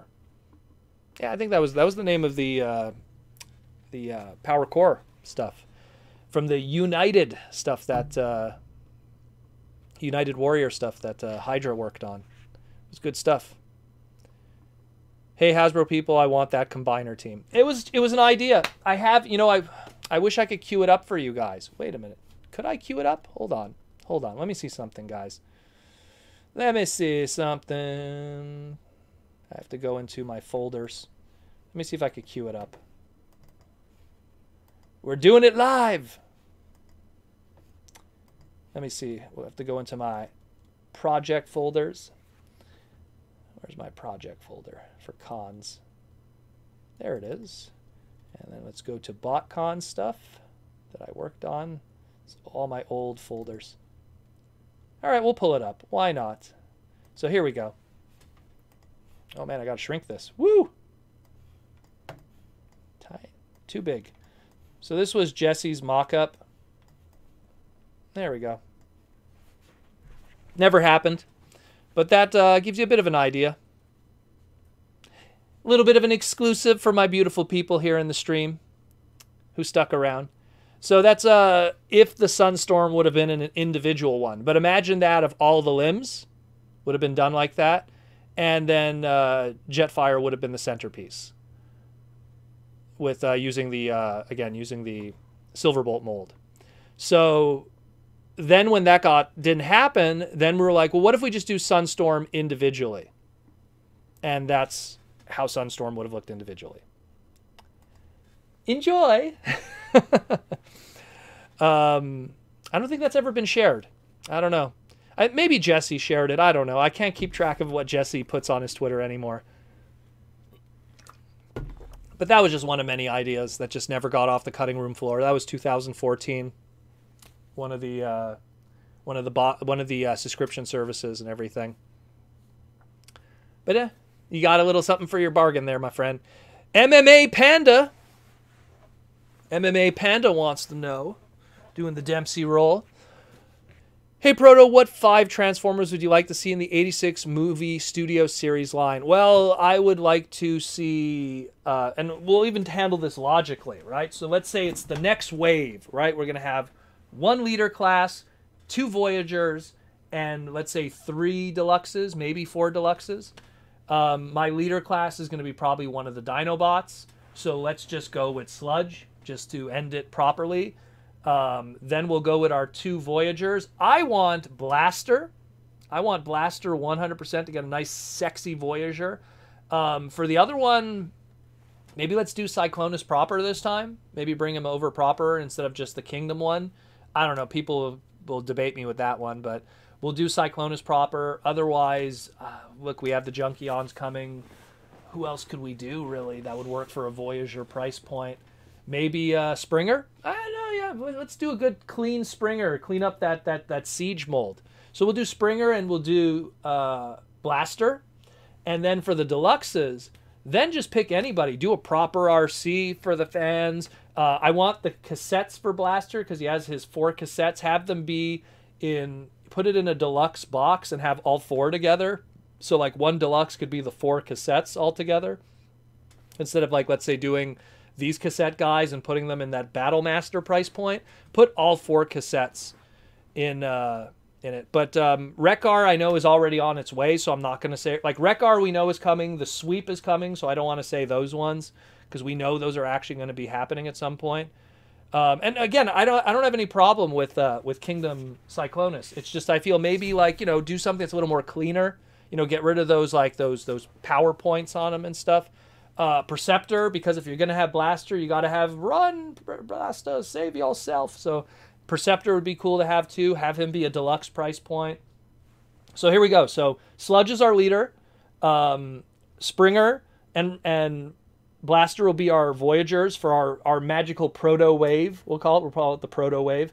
And our four deluxes will be one deluxe will be all of Blaster's cassettes. One deluxe will be Perceptor. One deluxe will be a better Arcee, like an Arcee that more is in tune with what we got from the Thrilling 30 Legends kind of thing. And then let's go with let's go with we need a Decepticon. We need a Decepticon to balance it out. So let's go with something different. How about Hmm want to do something good though. Something that will work for the deluxe price point with that budget. I guess maybe we could do Insecticons. We're already doing we're already doing mini bots at a deluxe price point. Maybe let's have some larger, nice Insecticons. We'll start with obviously Kickback and Shrapnel. You know, because uh, both of them got hella beat up let's just say this was the last thing Kickback saw. so, um, but that'd be cool. Blitz, see, I don't want to do Blitzwing though, Podsky, because I feel Blitzwing should be a, a Voyager. The budget needs to be there. The budget needs to be there for sure. But that uh, for sure, yeah, we'll throw in an Insecticon. I felt that was too, I was too, um, too Autobot heavy with my wave. But uh, I'll go with that. I'll go with that. That sounds good. Sounds good. I'll dig with that. My man. My man. Sounds good. We got 25 minutes left on the stream. Mm. A good looking Octane. Well, I, I, don't think it was too bad, the one we got through Titan's Return. It wasn't too bad. But I'm pretty sure we'll get something. You know what I mean? It's, it's, all, it's all like an evolution. You know, we got Octane done in that deluxe price point through classics, and they were experimenting. And then same thing, it's like, oh, then we got like Blitzwing, so he was kind of out of scale with Octane and an Astro Train at the end of Thrilling 30. So right away, our triple changers were kind of weird. And not to mention the Blitzwing and the Thrilling 30 had that animated gimmick kind of worked in. When we got the Titans Returns, everyone was headmasters, and so it had those little tabs on the side. People weren't a fan of it, but it was almost there. It was almost there. And then we get the leader class Astro Train, and it's like there's, to me, there's always a next step that could be better. And while we've peaked with some characters, I feel we still haven't peaked with our triple changers yet. So there still will be something else in the future that will be better. And I love Astro Train. He's my favorite of uh, the Decepticon triple changers. So I'd love to see. Uh, I'd love to see more of that. Stinkfist69 wants to know Did you watch the new Mortal Kombat movie? No, but I saw the seven minute opener trailer that there that's on YouTube, and I actually am kind of excited. I really like uh, fighting games and Mortal Kombat and Mortal Kombat. I have tons of merchandise in the game room. Anyone that's on my uh, on my Instagram, uh, I just posted today uh, a super rare Killer Instinct figure from the past of the old Rareware Nintendo days and the Ultra 64, not the Nintendo 64. So if you want to see a figure of Glacius, the only figure in existence of Killer Instinct, uh, hang on down to my Twitter. Uh, not my Twitter, my Instagram, Protoman Gaming. Check it out. Follow my Twitter. Uh, my it's not my Twitter. Follow my Instagram. A lot of cool stuff on there too. Um, but yeah, uh, I, I do want to do see it though. I'm actually very intrigued. I've seen, I think every piece of Mortal Kombat media that has ever existed, I've seen. I, you know, the first two movies, the TV series, the other TV series, the animated series, the made for VHS terribly animated cartoon, the other cartoon, Defenders of the Realm, uh, the web series, which I think it was called Mortal Kombat Legacy. Like I've watched all of that crazy stuff. Ed Boon and Tobias, I'm big fans of everything they did. And when I was a kid in the 90s, Mortal Kombat was the shit. You watched it and you thought it was a good start to a trilogy. Well, that's good to hear. You know, one person gave his review to me, and no offense to him, but it's not someone that I'd exactly like. I don't want to say respect his opinion, but he's not someone that knows Mortal Kombat really, and not is not a really big gamer, so I wouldn't really use him. But he was like, ah, it wasn't that good, and I was like, okay, I still want to see it. I, I, I really, you know, my taste is very different than a lot of people's, so I mean, I like the Super Mario Brother movie. You know, so hate me all you want, but I like it. I think it's a fun watch with John Leguizamo. Off topic question, but have you seen Invincible? Highly recommended if you haven't. Um, I haven't seen it yet, but a friend of mine saw it and he said it was really good. And he said if you like Deadpool, you'll like Invincible. So I like Deadpool. I never read the comic though. That was Image, right? That was Image Comics that did them. So I never read the comic, so I'm definitely going to be going into it raw. I don't know. I have no precognition of what I should expect of these characters and the adaptation if it's done properly. Uh, where we at? Where we at? Hey, Pro, have you seen uh, your thoughts on the Japanese Transformers mobile game? Yeah, it's it's currently in its beta development right now. I have seen it. I have it actually uh, ready to be installed on my Japanese iPad. I have a Japanese iPad uh, to install Japanese games. Uh, if you actually go many years ago, I did a whole bunch of the Japanese uh, Transformer games that were exclusive to the Japanese market. So I had an iPad that was just Japanese Transformer games, and I was doing reviews of them. The only 100% playthrough of Waza no Convoy, the cell phone game, is done by me. Um, and I did like the whole history lesson of that. Uh, just I think it's uh, Mystery of Convoy iOS. I don't know how to look look it up on YouTube, but it's me who did the review. The whole thing, I did a whole playthrough. I talk about the history of it, everything that's going on there. Mortal Kombat had a lot of fan service. Now that I like. That I like. And for people that are curious, my favorite Mortal Kombat character is Reptile. Uh, when I used to play Mortal Kombat 1, I obviously mained uh, Sub Zero. I thought he was the best. When I started playing it at home console on my Super Nintendo, I started using Liu Kang because I thought he was broken in the Super Nintendo version. You could just spam that fireball over and over and then do the, the high kick, uh, the flying high kick. When uh, Mortal Kombat 2 came out in arcades, I was using Katana religiously. Raise the guy up in the air, punch, fan combo, trip. There was this whole thing going on. Katana was broken good in it. Um, And then when I on home console, same thing too. But I loved Reptile as a character. I love that he was a secret character. I thought he was so cool in the Mortal Kombat movie. I love his music in the Mortal Kombat movie. I loved him in the comic books. There was a Mortal Kombat comic book by Malibu called Blood and Thunder, which is a really good read, by the way, for a Malibu comic book, uh, which had Reptile in it and all the characters. Really 90s schlock, but I love that. Love that comic. Uh, again, big Mortal Kombat fan. Who would have thunk it? I'm a big, uh, big video game guy, so it's in the name, Proto Man. Proto Man is Mega Man's brother. You're a big Mortal Kombat fan. The movie was okay, and not a bad movie. Just a few things ruined it for me. Still the best Mortal Kombat movie. Really, I like the original. I like the original. Um, I find that, you know, the, the secret to a good video game movie is to also tell just a good story of a movie.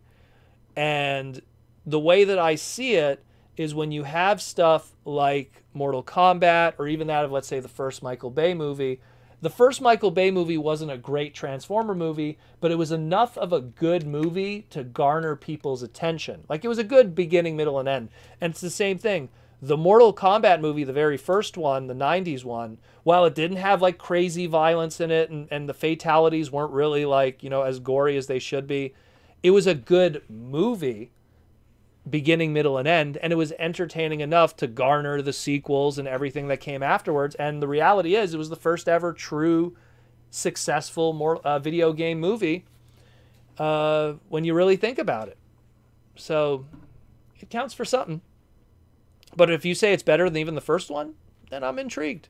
I'm intrigued. Again, I, I saw the first seven minutes with uh, with Bi-Han and and uh, and Scorpion and the Lin Kuei and all of that stuff. So um, it looks good. Looks good. I'm I'm excited to see it when I get a moment. I'll definitely want to watch it. First Mortal Kombat movie, great. Second Mortal Kombat movie, what WTF? Yeah, I saw it in theaters too. What what bothered me about it more than anything about about uh, what was it, Annihilation? What bothered me about Annihilation was characters would debut and would get killed just as quickly. So it's like, oh, here's Rain. Oh, cool, the purple ninja. Oh, and then he gets killed. Oh, here's this guy. Oh, he gets killed. Oh, here's this. Like it was it was so bad. It was so bad. Like I understand what they were trying to do. You know, they wanted to like rush a sequel and they couldn't get uh, Chris Lambert, who was like an amazing Raiden. I love him as Raiden.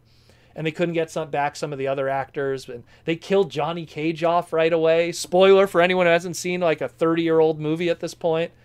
Um, but man, like I know they really missed the mark. They really did. They really did. Yeah, see, there you go. Fair Lady Z, Christopher Lambert, man. That dude made that movie. The fate of millions rest in your hands. Sorry about that. yeah, love that movie. It's a great movie. It's a great movie. Went to see it in theaters twice. Twice. I have only seen so many movies in theaters twice, and that's one of them. It was that. Embarrassingly, Beavis and Butthead Do America. I saw that twice. Friend paid for the ticket. Um, obviously, all the most of the Transformer movies uh, by Michael Bay. I didn't see the last few uh, twice, but uh, Revenge of the Fallen and and uh, the original I saw twice. Um, what else did I see twice? Oh, uh, Infinity War, I saw twice. Um, what else did I see twice? Uh, Captain America, the First Avenger, I saw twice. There's a few movies I saw twice. They were so good, you gotta watch them twice. Sorry that we went off topic of Transformers, but when you talk about video game stuff, it's my jam. It's my jam, guys. Guys, like, I wish I could show you. Like, it's bare. It's it's under here, like under these mangas. But I got the Donkey Kong Country animated series Crystal Coconut playset right here. You know, I'm gonna f it. I'm gonna pull it out for you guys to show you. I'm gonna show you guys my. I'm gonna show you guys my Crystal Coconut. Someone's gonna. Someone's gonna Look at that. Look at that. Look at that Donkey Kong Country crystal coconut playset. Look at that. And you know what's amazing about this? This was done by Takara. This is Takara Pro. Look at that crossover. Where's Optimus Primal? You know? So, like, I love my video game merch. Love it. Cranky Kong, man. Mm-mm-mm. And it comes with an exclusive, exclusive cigarette burned crystal Donkey Kong. Love this thing. One of my favorite purchases from Japan. Japanese exclusive. Never came out here. Uh. Yeah, I love that guy as Shang Tsung too. Like the the first actor, he's amazing though, and he came back for the video games. So, nice coconut. Thank you. I got a lovely bunch of coconuts. That's what she said. Giggity. Mm-hmm. Um, where we at? Where we at? Where we at? I'll take a few more questions. The show. Okay, so the Donkey Kong Country cartoon only had product, but it had product in Japan because the show was ridiculously successful in Japan.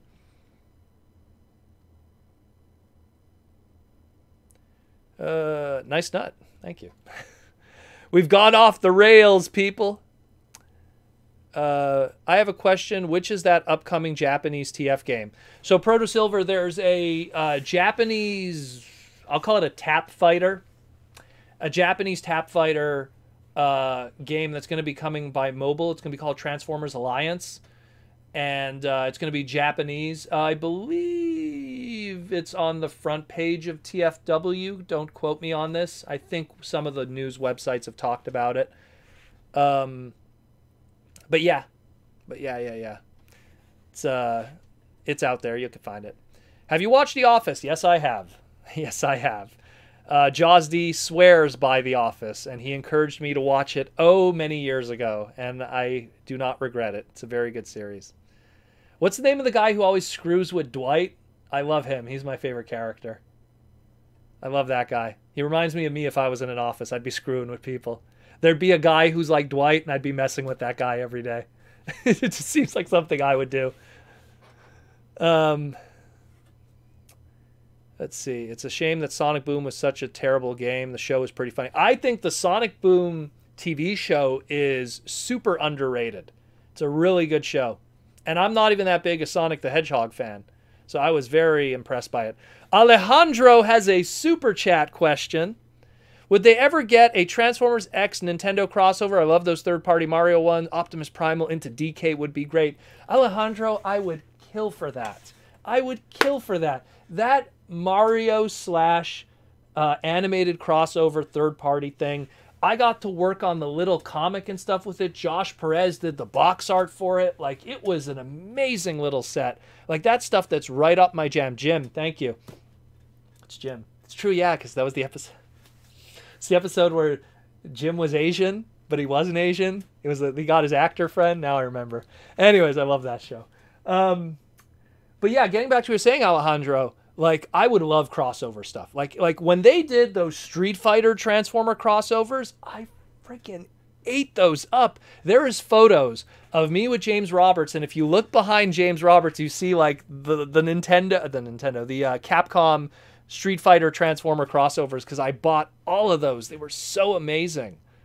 Oh my god. Anytime Transformers does a crossover with video game stuff, it gets extra attention from me because I love video game merchandising.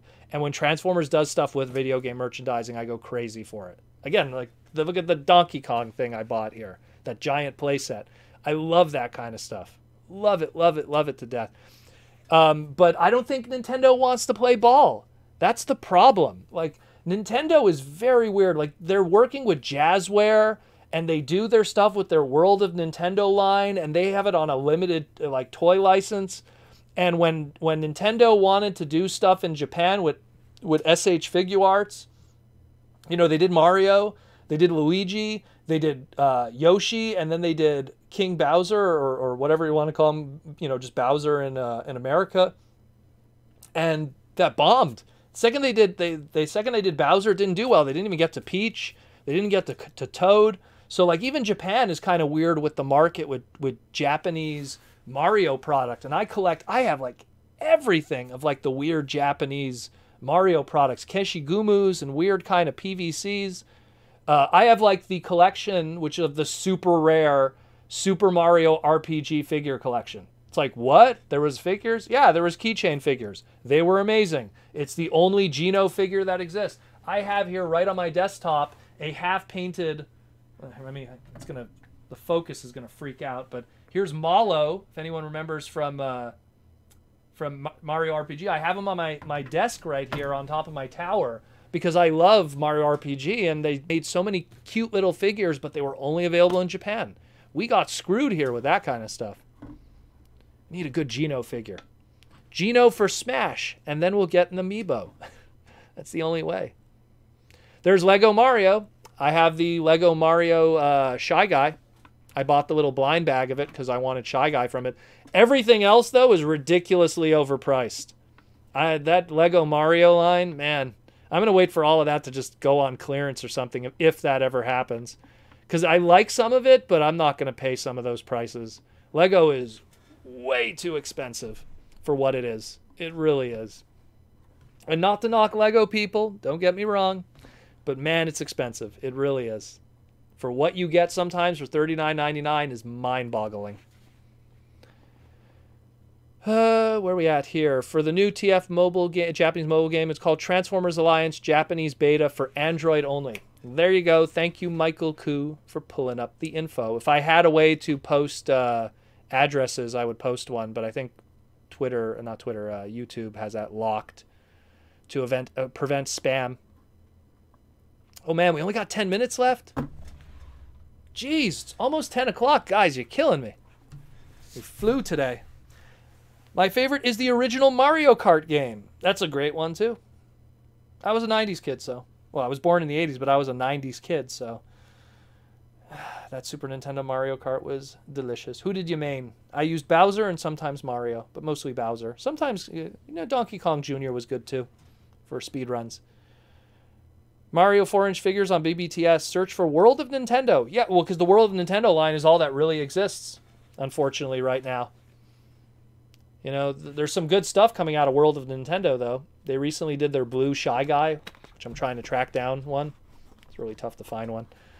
Um, they did all their Mario Galaxy stuff. Not Galaxy, uh, Odyssey. Uh, Lego is like 50 or even 75% of its current price.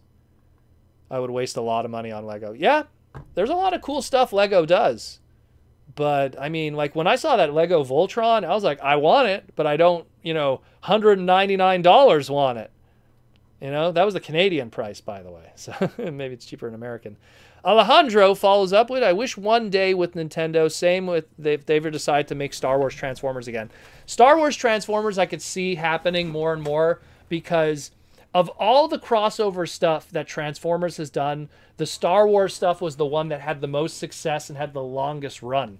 And it lasted so long that they even had Japanese versions. Remember, not too long ago, we had that Millennium Falcon uh, crossover that they did not too long ago. I think maybe like four years ago or five years ago. So I think Star Wars will still have crossover with Transformers in the future. I still think that there's a lot left to be done with that. Um, but Nintendo I want that so bad, but I just I don't see it happening. I really don't. I feel like Sega would do more stuff because I, I said this before. Like when they did the the uh, Megatron Mega Drive, which was like the the Megatron that turns into the Sega Genesis, I was like, oh man, Megatron Mega Drive, and then Convoy Famicom, which is the Nintendo, but Nintendo didn't want to play ball, so we got the PlayStation. Optimus, okay. That doesn't even roll off tongue. Comboy, Famicom, Com, Famicom Boy, you know, like it would be. Oh, it'd be so clever, so clever, so clever. But no, wasn't happening.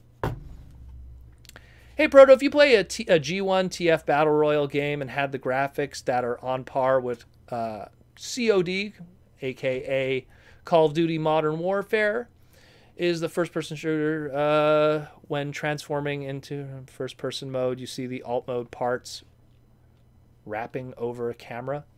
Well, I really liked Matthew what they did with uh, War for Cybertron. I think that that was they really achieved perfection in a lot of ways with that. They really did. You know, they really did. I feel that uh, I want more of that. You know, give me a give me a proper third entry instead of that, ugh, you know, Rise of the Dark Spark. Give me a third entry. Proto, what about a Transformers Mach 5? Well, if you get animated blur, you're almost halfway there. So the funny story with animated blur was not only is he an homage to the Mach 5, but the episode that he debuted in on animated, if you look at the date that he debuted, was the same month as the Speed Racer movie. All was in synergy. And I love Speed Racer. Huge Speed Racer fan. Huge, huge Speed Racer. Mega Man and where my name namesake comes from, Proto Man, that's all tied to Speed Racer and that writing style with Racer X and Speed Racer and the brothers and all that. Amiibos are Nintendo's bread and butter. Ooh, I don't know about that. Amiibos are kind of taking the back seat now recently. Uh, they seem to exclusive uh, seem to be an exclusive way to get Nintendo figures. Well, yeah, that I do agree. I, I feel that Amiibo is one of the few ways that you're able to get figures of some of those characters ever. Like think about it, like Richter Belmont. When did he have a figure of anything? Banjo Kazooie. Oh no, Banjo Kazooie had uh, the Toy Biz line, but uh, you know the, the, the dog and duck from Duck Hunt, or uh, the two the uh, the two uh, dudes from um, Ice Climbers. Like some of those, man, like you'll never get, you'll never get like figures of those dudes ever if it wasn't for Amiibo. You know, Wii Fit Trainer. Live action Speed Racer movie was awesome. Yes, it was. And that's another movie that I saw twice. Although I technically don't count it twice because I saw it once in a regular theater and then I saw it in the dollar cinema afterwards because a friend was like, I didn't see that movie. And I'm like, we're going to see it in the dollar cinema. Uh, I love that movie. I own it in both versions. I own it in Blu ray and I own it in the special, crazy big box set that comes with uh, the shooting star as the car that comes with it. I love my Speed Racer. Here he comes, here comes Speed Racer. He's a demon on wheels. He's a demon and he's gonna be chasing after someone. Speaking of War for Cybertron, Fall of Cybertron, I bought a huge collection of those generation figures off of eBay for my birthday with most of those figures except War for Cybertron, Prime, and Bumblebee's mold. Well, those are probably the two easiest ones to find, so lucky for you. Those will be the easiest to get of the two. Probably the most common too, because the the jazz, the the sideswipe, and the cliff jumper are a little more difficult. What's a dollar cinema? Uh, it's a cinema in Canada where you pay only a dollar to see movies that are not completely out of theaters yet, but kinda. So like it's it's out of theaters, but it's not out on DVD or on Netflix yet. It's kind of in that in between purgatory. So the dollar cinema gets the leftovers. So like to give an equivalency like Mulan, I guess if it was if it came out in theaters would have been in dollar cinema right now, you know? Like something that came out but it's now like a couple months down the line. I don't know. There's a whole bunch of them in in in Canada. I see them all the time. I see them all the time. Critics were too harsh on the live live action Speed Racer. Bah. Bah. Who cares about critics? According to critics, the 86 movie is garbage. Who cares? All those critics are in the ground now. So I don't care. All those dudes that gave the thumbs down, you're in the ground now. I'll pour one out for you. And it won't come from the bottle of water. Let's put it that way.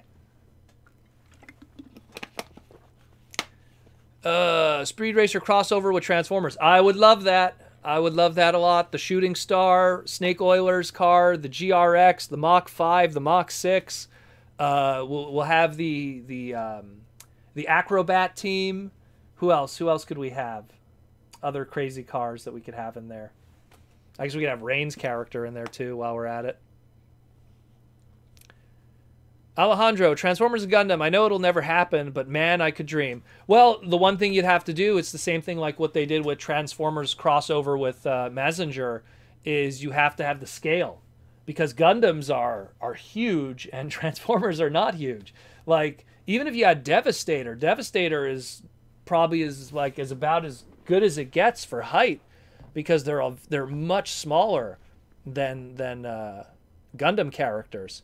So you'd have to really even out the size somewhere. When Death Battle, Death Battle did a crossover with Transformers, and I even said like when Optimus Prime beat the Gundam, I was like, I think the Gundam should have won because I think they didn't factor in a lot of truths when it comes to the Gundam series.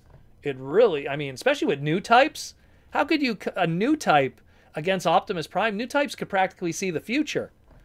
You know, so Anyways, and it's Bandai and it's ha- and it's Takara. They won't play nice. They never will. It's it's like it's like uh, it's like Mattel and, and Hasbro getting along, unless unless Hasbro buys out Mattel. That'll be another story. We got another super chat question: Original Speed Racer or Speed Racer X? Mach a go go go. Uh, Speed Racer X, the dub is not good, but the original Japanese version is pretty good. Maha Go Go Go. Uh, but you can't beat the original Speed Racer, and you can't beat the original theme song of The Adventures of Speed Racer, the 90s TV series, which uh, was written by David Wise, rest in peace, who was a very nice man. Um, I love, they're all good. They're all good. I have those on DVD. I don't, except for Adventures of Speed Racer, they never did a DVD box set of the DiC series, which is Cookie Jar Entertainment. So why don't they do that? That'd be easy. It's only 13 episodes. Give me my DVD box set of New Adventures. I'll buy it. I'll buy it. Um, oh my God, we are pretty much done for today. I didn't realize that. We're already past the two hour mark. Wow, guys, it flew. It flew. Let me just get someone before we say goodbye. Alrighty. Ugh. I'll bring him in here. So, guys, God, how do I even do this with these heavy ratchet joints? Ugh. Listen to these joints, man. Like, like, to this one joint. Like, one joint is just like crack, crack, crack. Eh. Oh, Alejandro, you got another question. Oh, man. Okay, we'll do one more, bro, and then we'll call it a day. Me and my friend thought a crossover with food companies like Cheetos crossover, Kingdom Cheetor. Um, Aaron Archer, uh, not Aaron Archer, uh, Derek Wyatt did a crossover of something like that. If you go on Derek Wyatt's Twitter, he did a, cheetah, a Chester Cheetah Cheeto crossover flaming red hot version, something like that. But I would dig that. It ain't easy. I think someone did a, a Photoshop with Masterpiece Cheetor too, if I remember correctly. I think also. Oh my God, you guys are killing me. Like I'm trying to remember, like what, who did that? But I dig that. What would be one that I would want? Um, what's a good chip brand that has a mascot? Oh, but that's a Canadian brand. No one's gonna remember that Humpty Dumpty, because um, that would just be a shell former. What's a good chip brand? What's a good chip brand? Oh, I'm trying to remember. No one has mascots anymore. That's kind of sucky. Anyways, that's it for tonight, boys and goyles. Thanks everyone for coming. Unicron and me would. I'm gonna put up. I was gonna put up the middle finger, but that would have been nice. Unicron and me would like to say, uh, thank you for everything. Uh, thanks all for coming. Once again, if you want to support the podcast, help us out here with the craziness that's going on. Let us know that we're doing a good job. Join the Patreon. It's in the link in the description below, patreon.com forward slash protoman. Also put it in, oh, Pringles, the Pringles guy. That's true, eh? Pringles guy. Ooh, he'd have to be a tube transformer. Doritos doesn't have a mascot though, eh? Anyways, I'm getting off topic. I gotta go to bed. I got I got a shower. It's been a long day. I got a shower. I gotta go to bed. It's getting late. I know it's a crazy Saturday night. It's, I've been so busy, guys. Such a busy week. It's nice everyone having, again, support the podcast. And of course, go check out Symbiote Studios and everything that they're doing. Check out their plushes, symbiotestudios.com. Oh, no, not that one. All their cool stuff, their pins, their shirts, their plush, all the cool stuff that they do. They support the podcast. They help us out also. Keeping the lights on for the podcast. Protoman's Love Child. Oh no! We're gonna end it with. We're gonna end it with. Let this mark the end of the Cybertronian wars as we march forward to a new age of peace and happiness till all are one. Till all are one. Transform.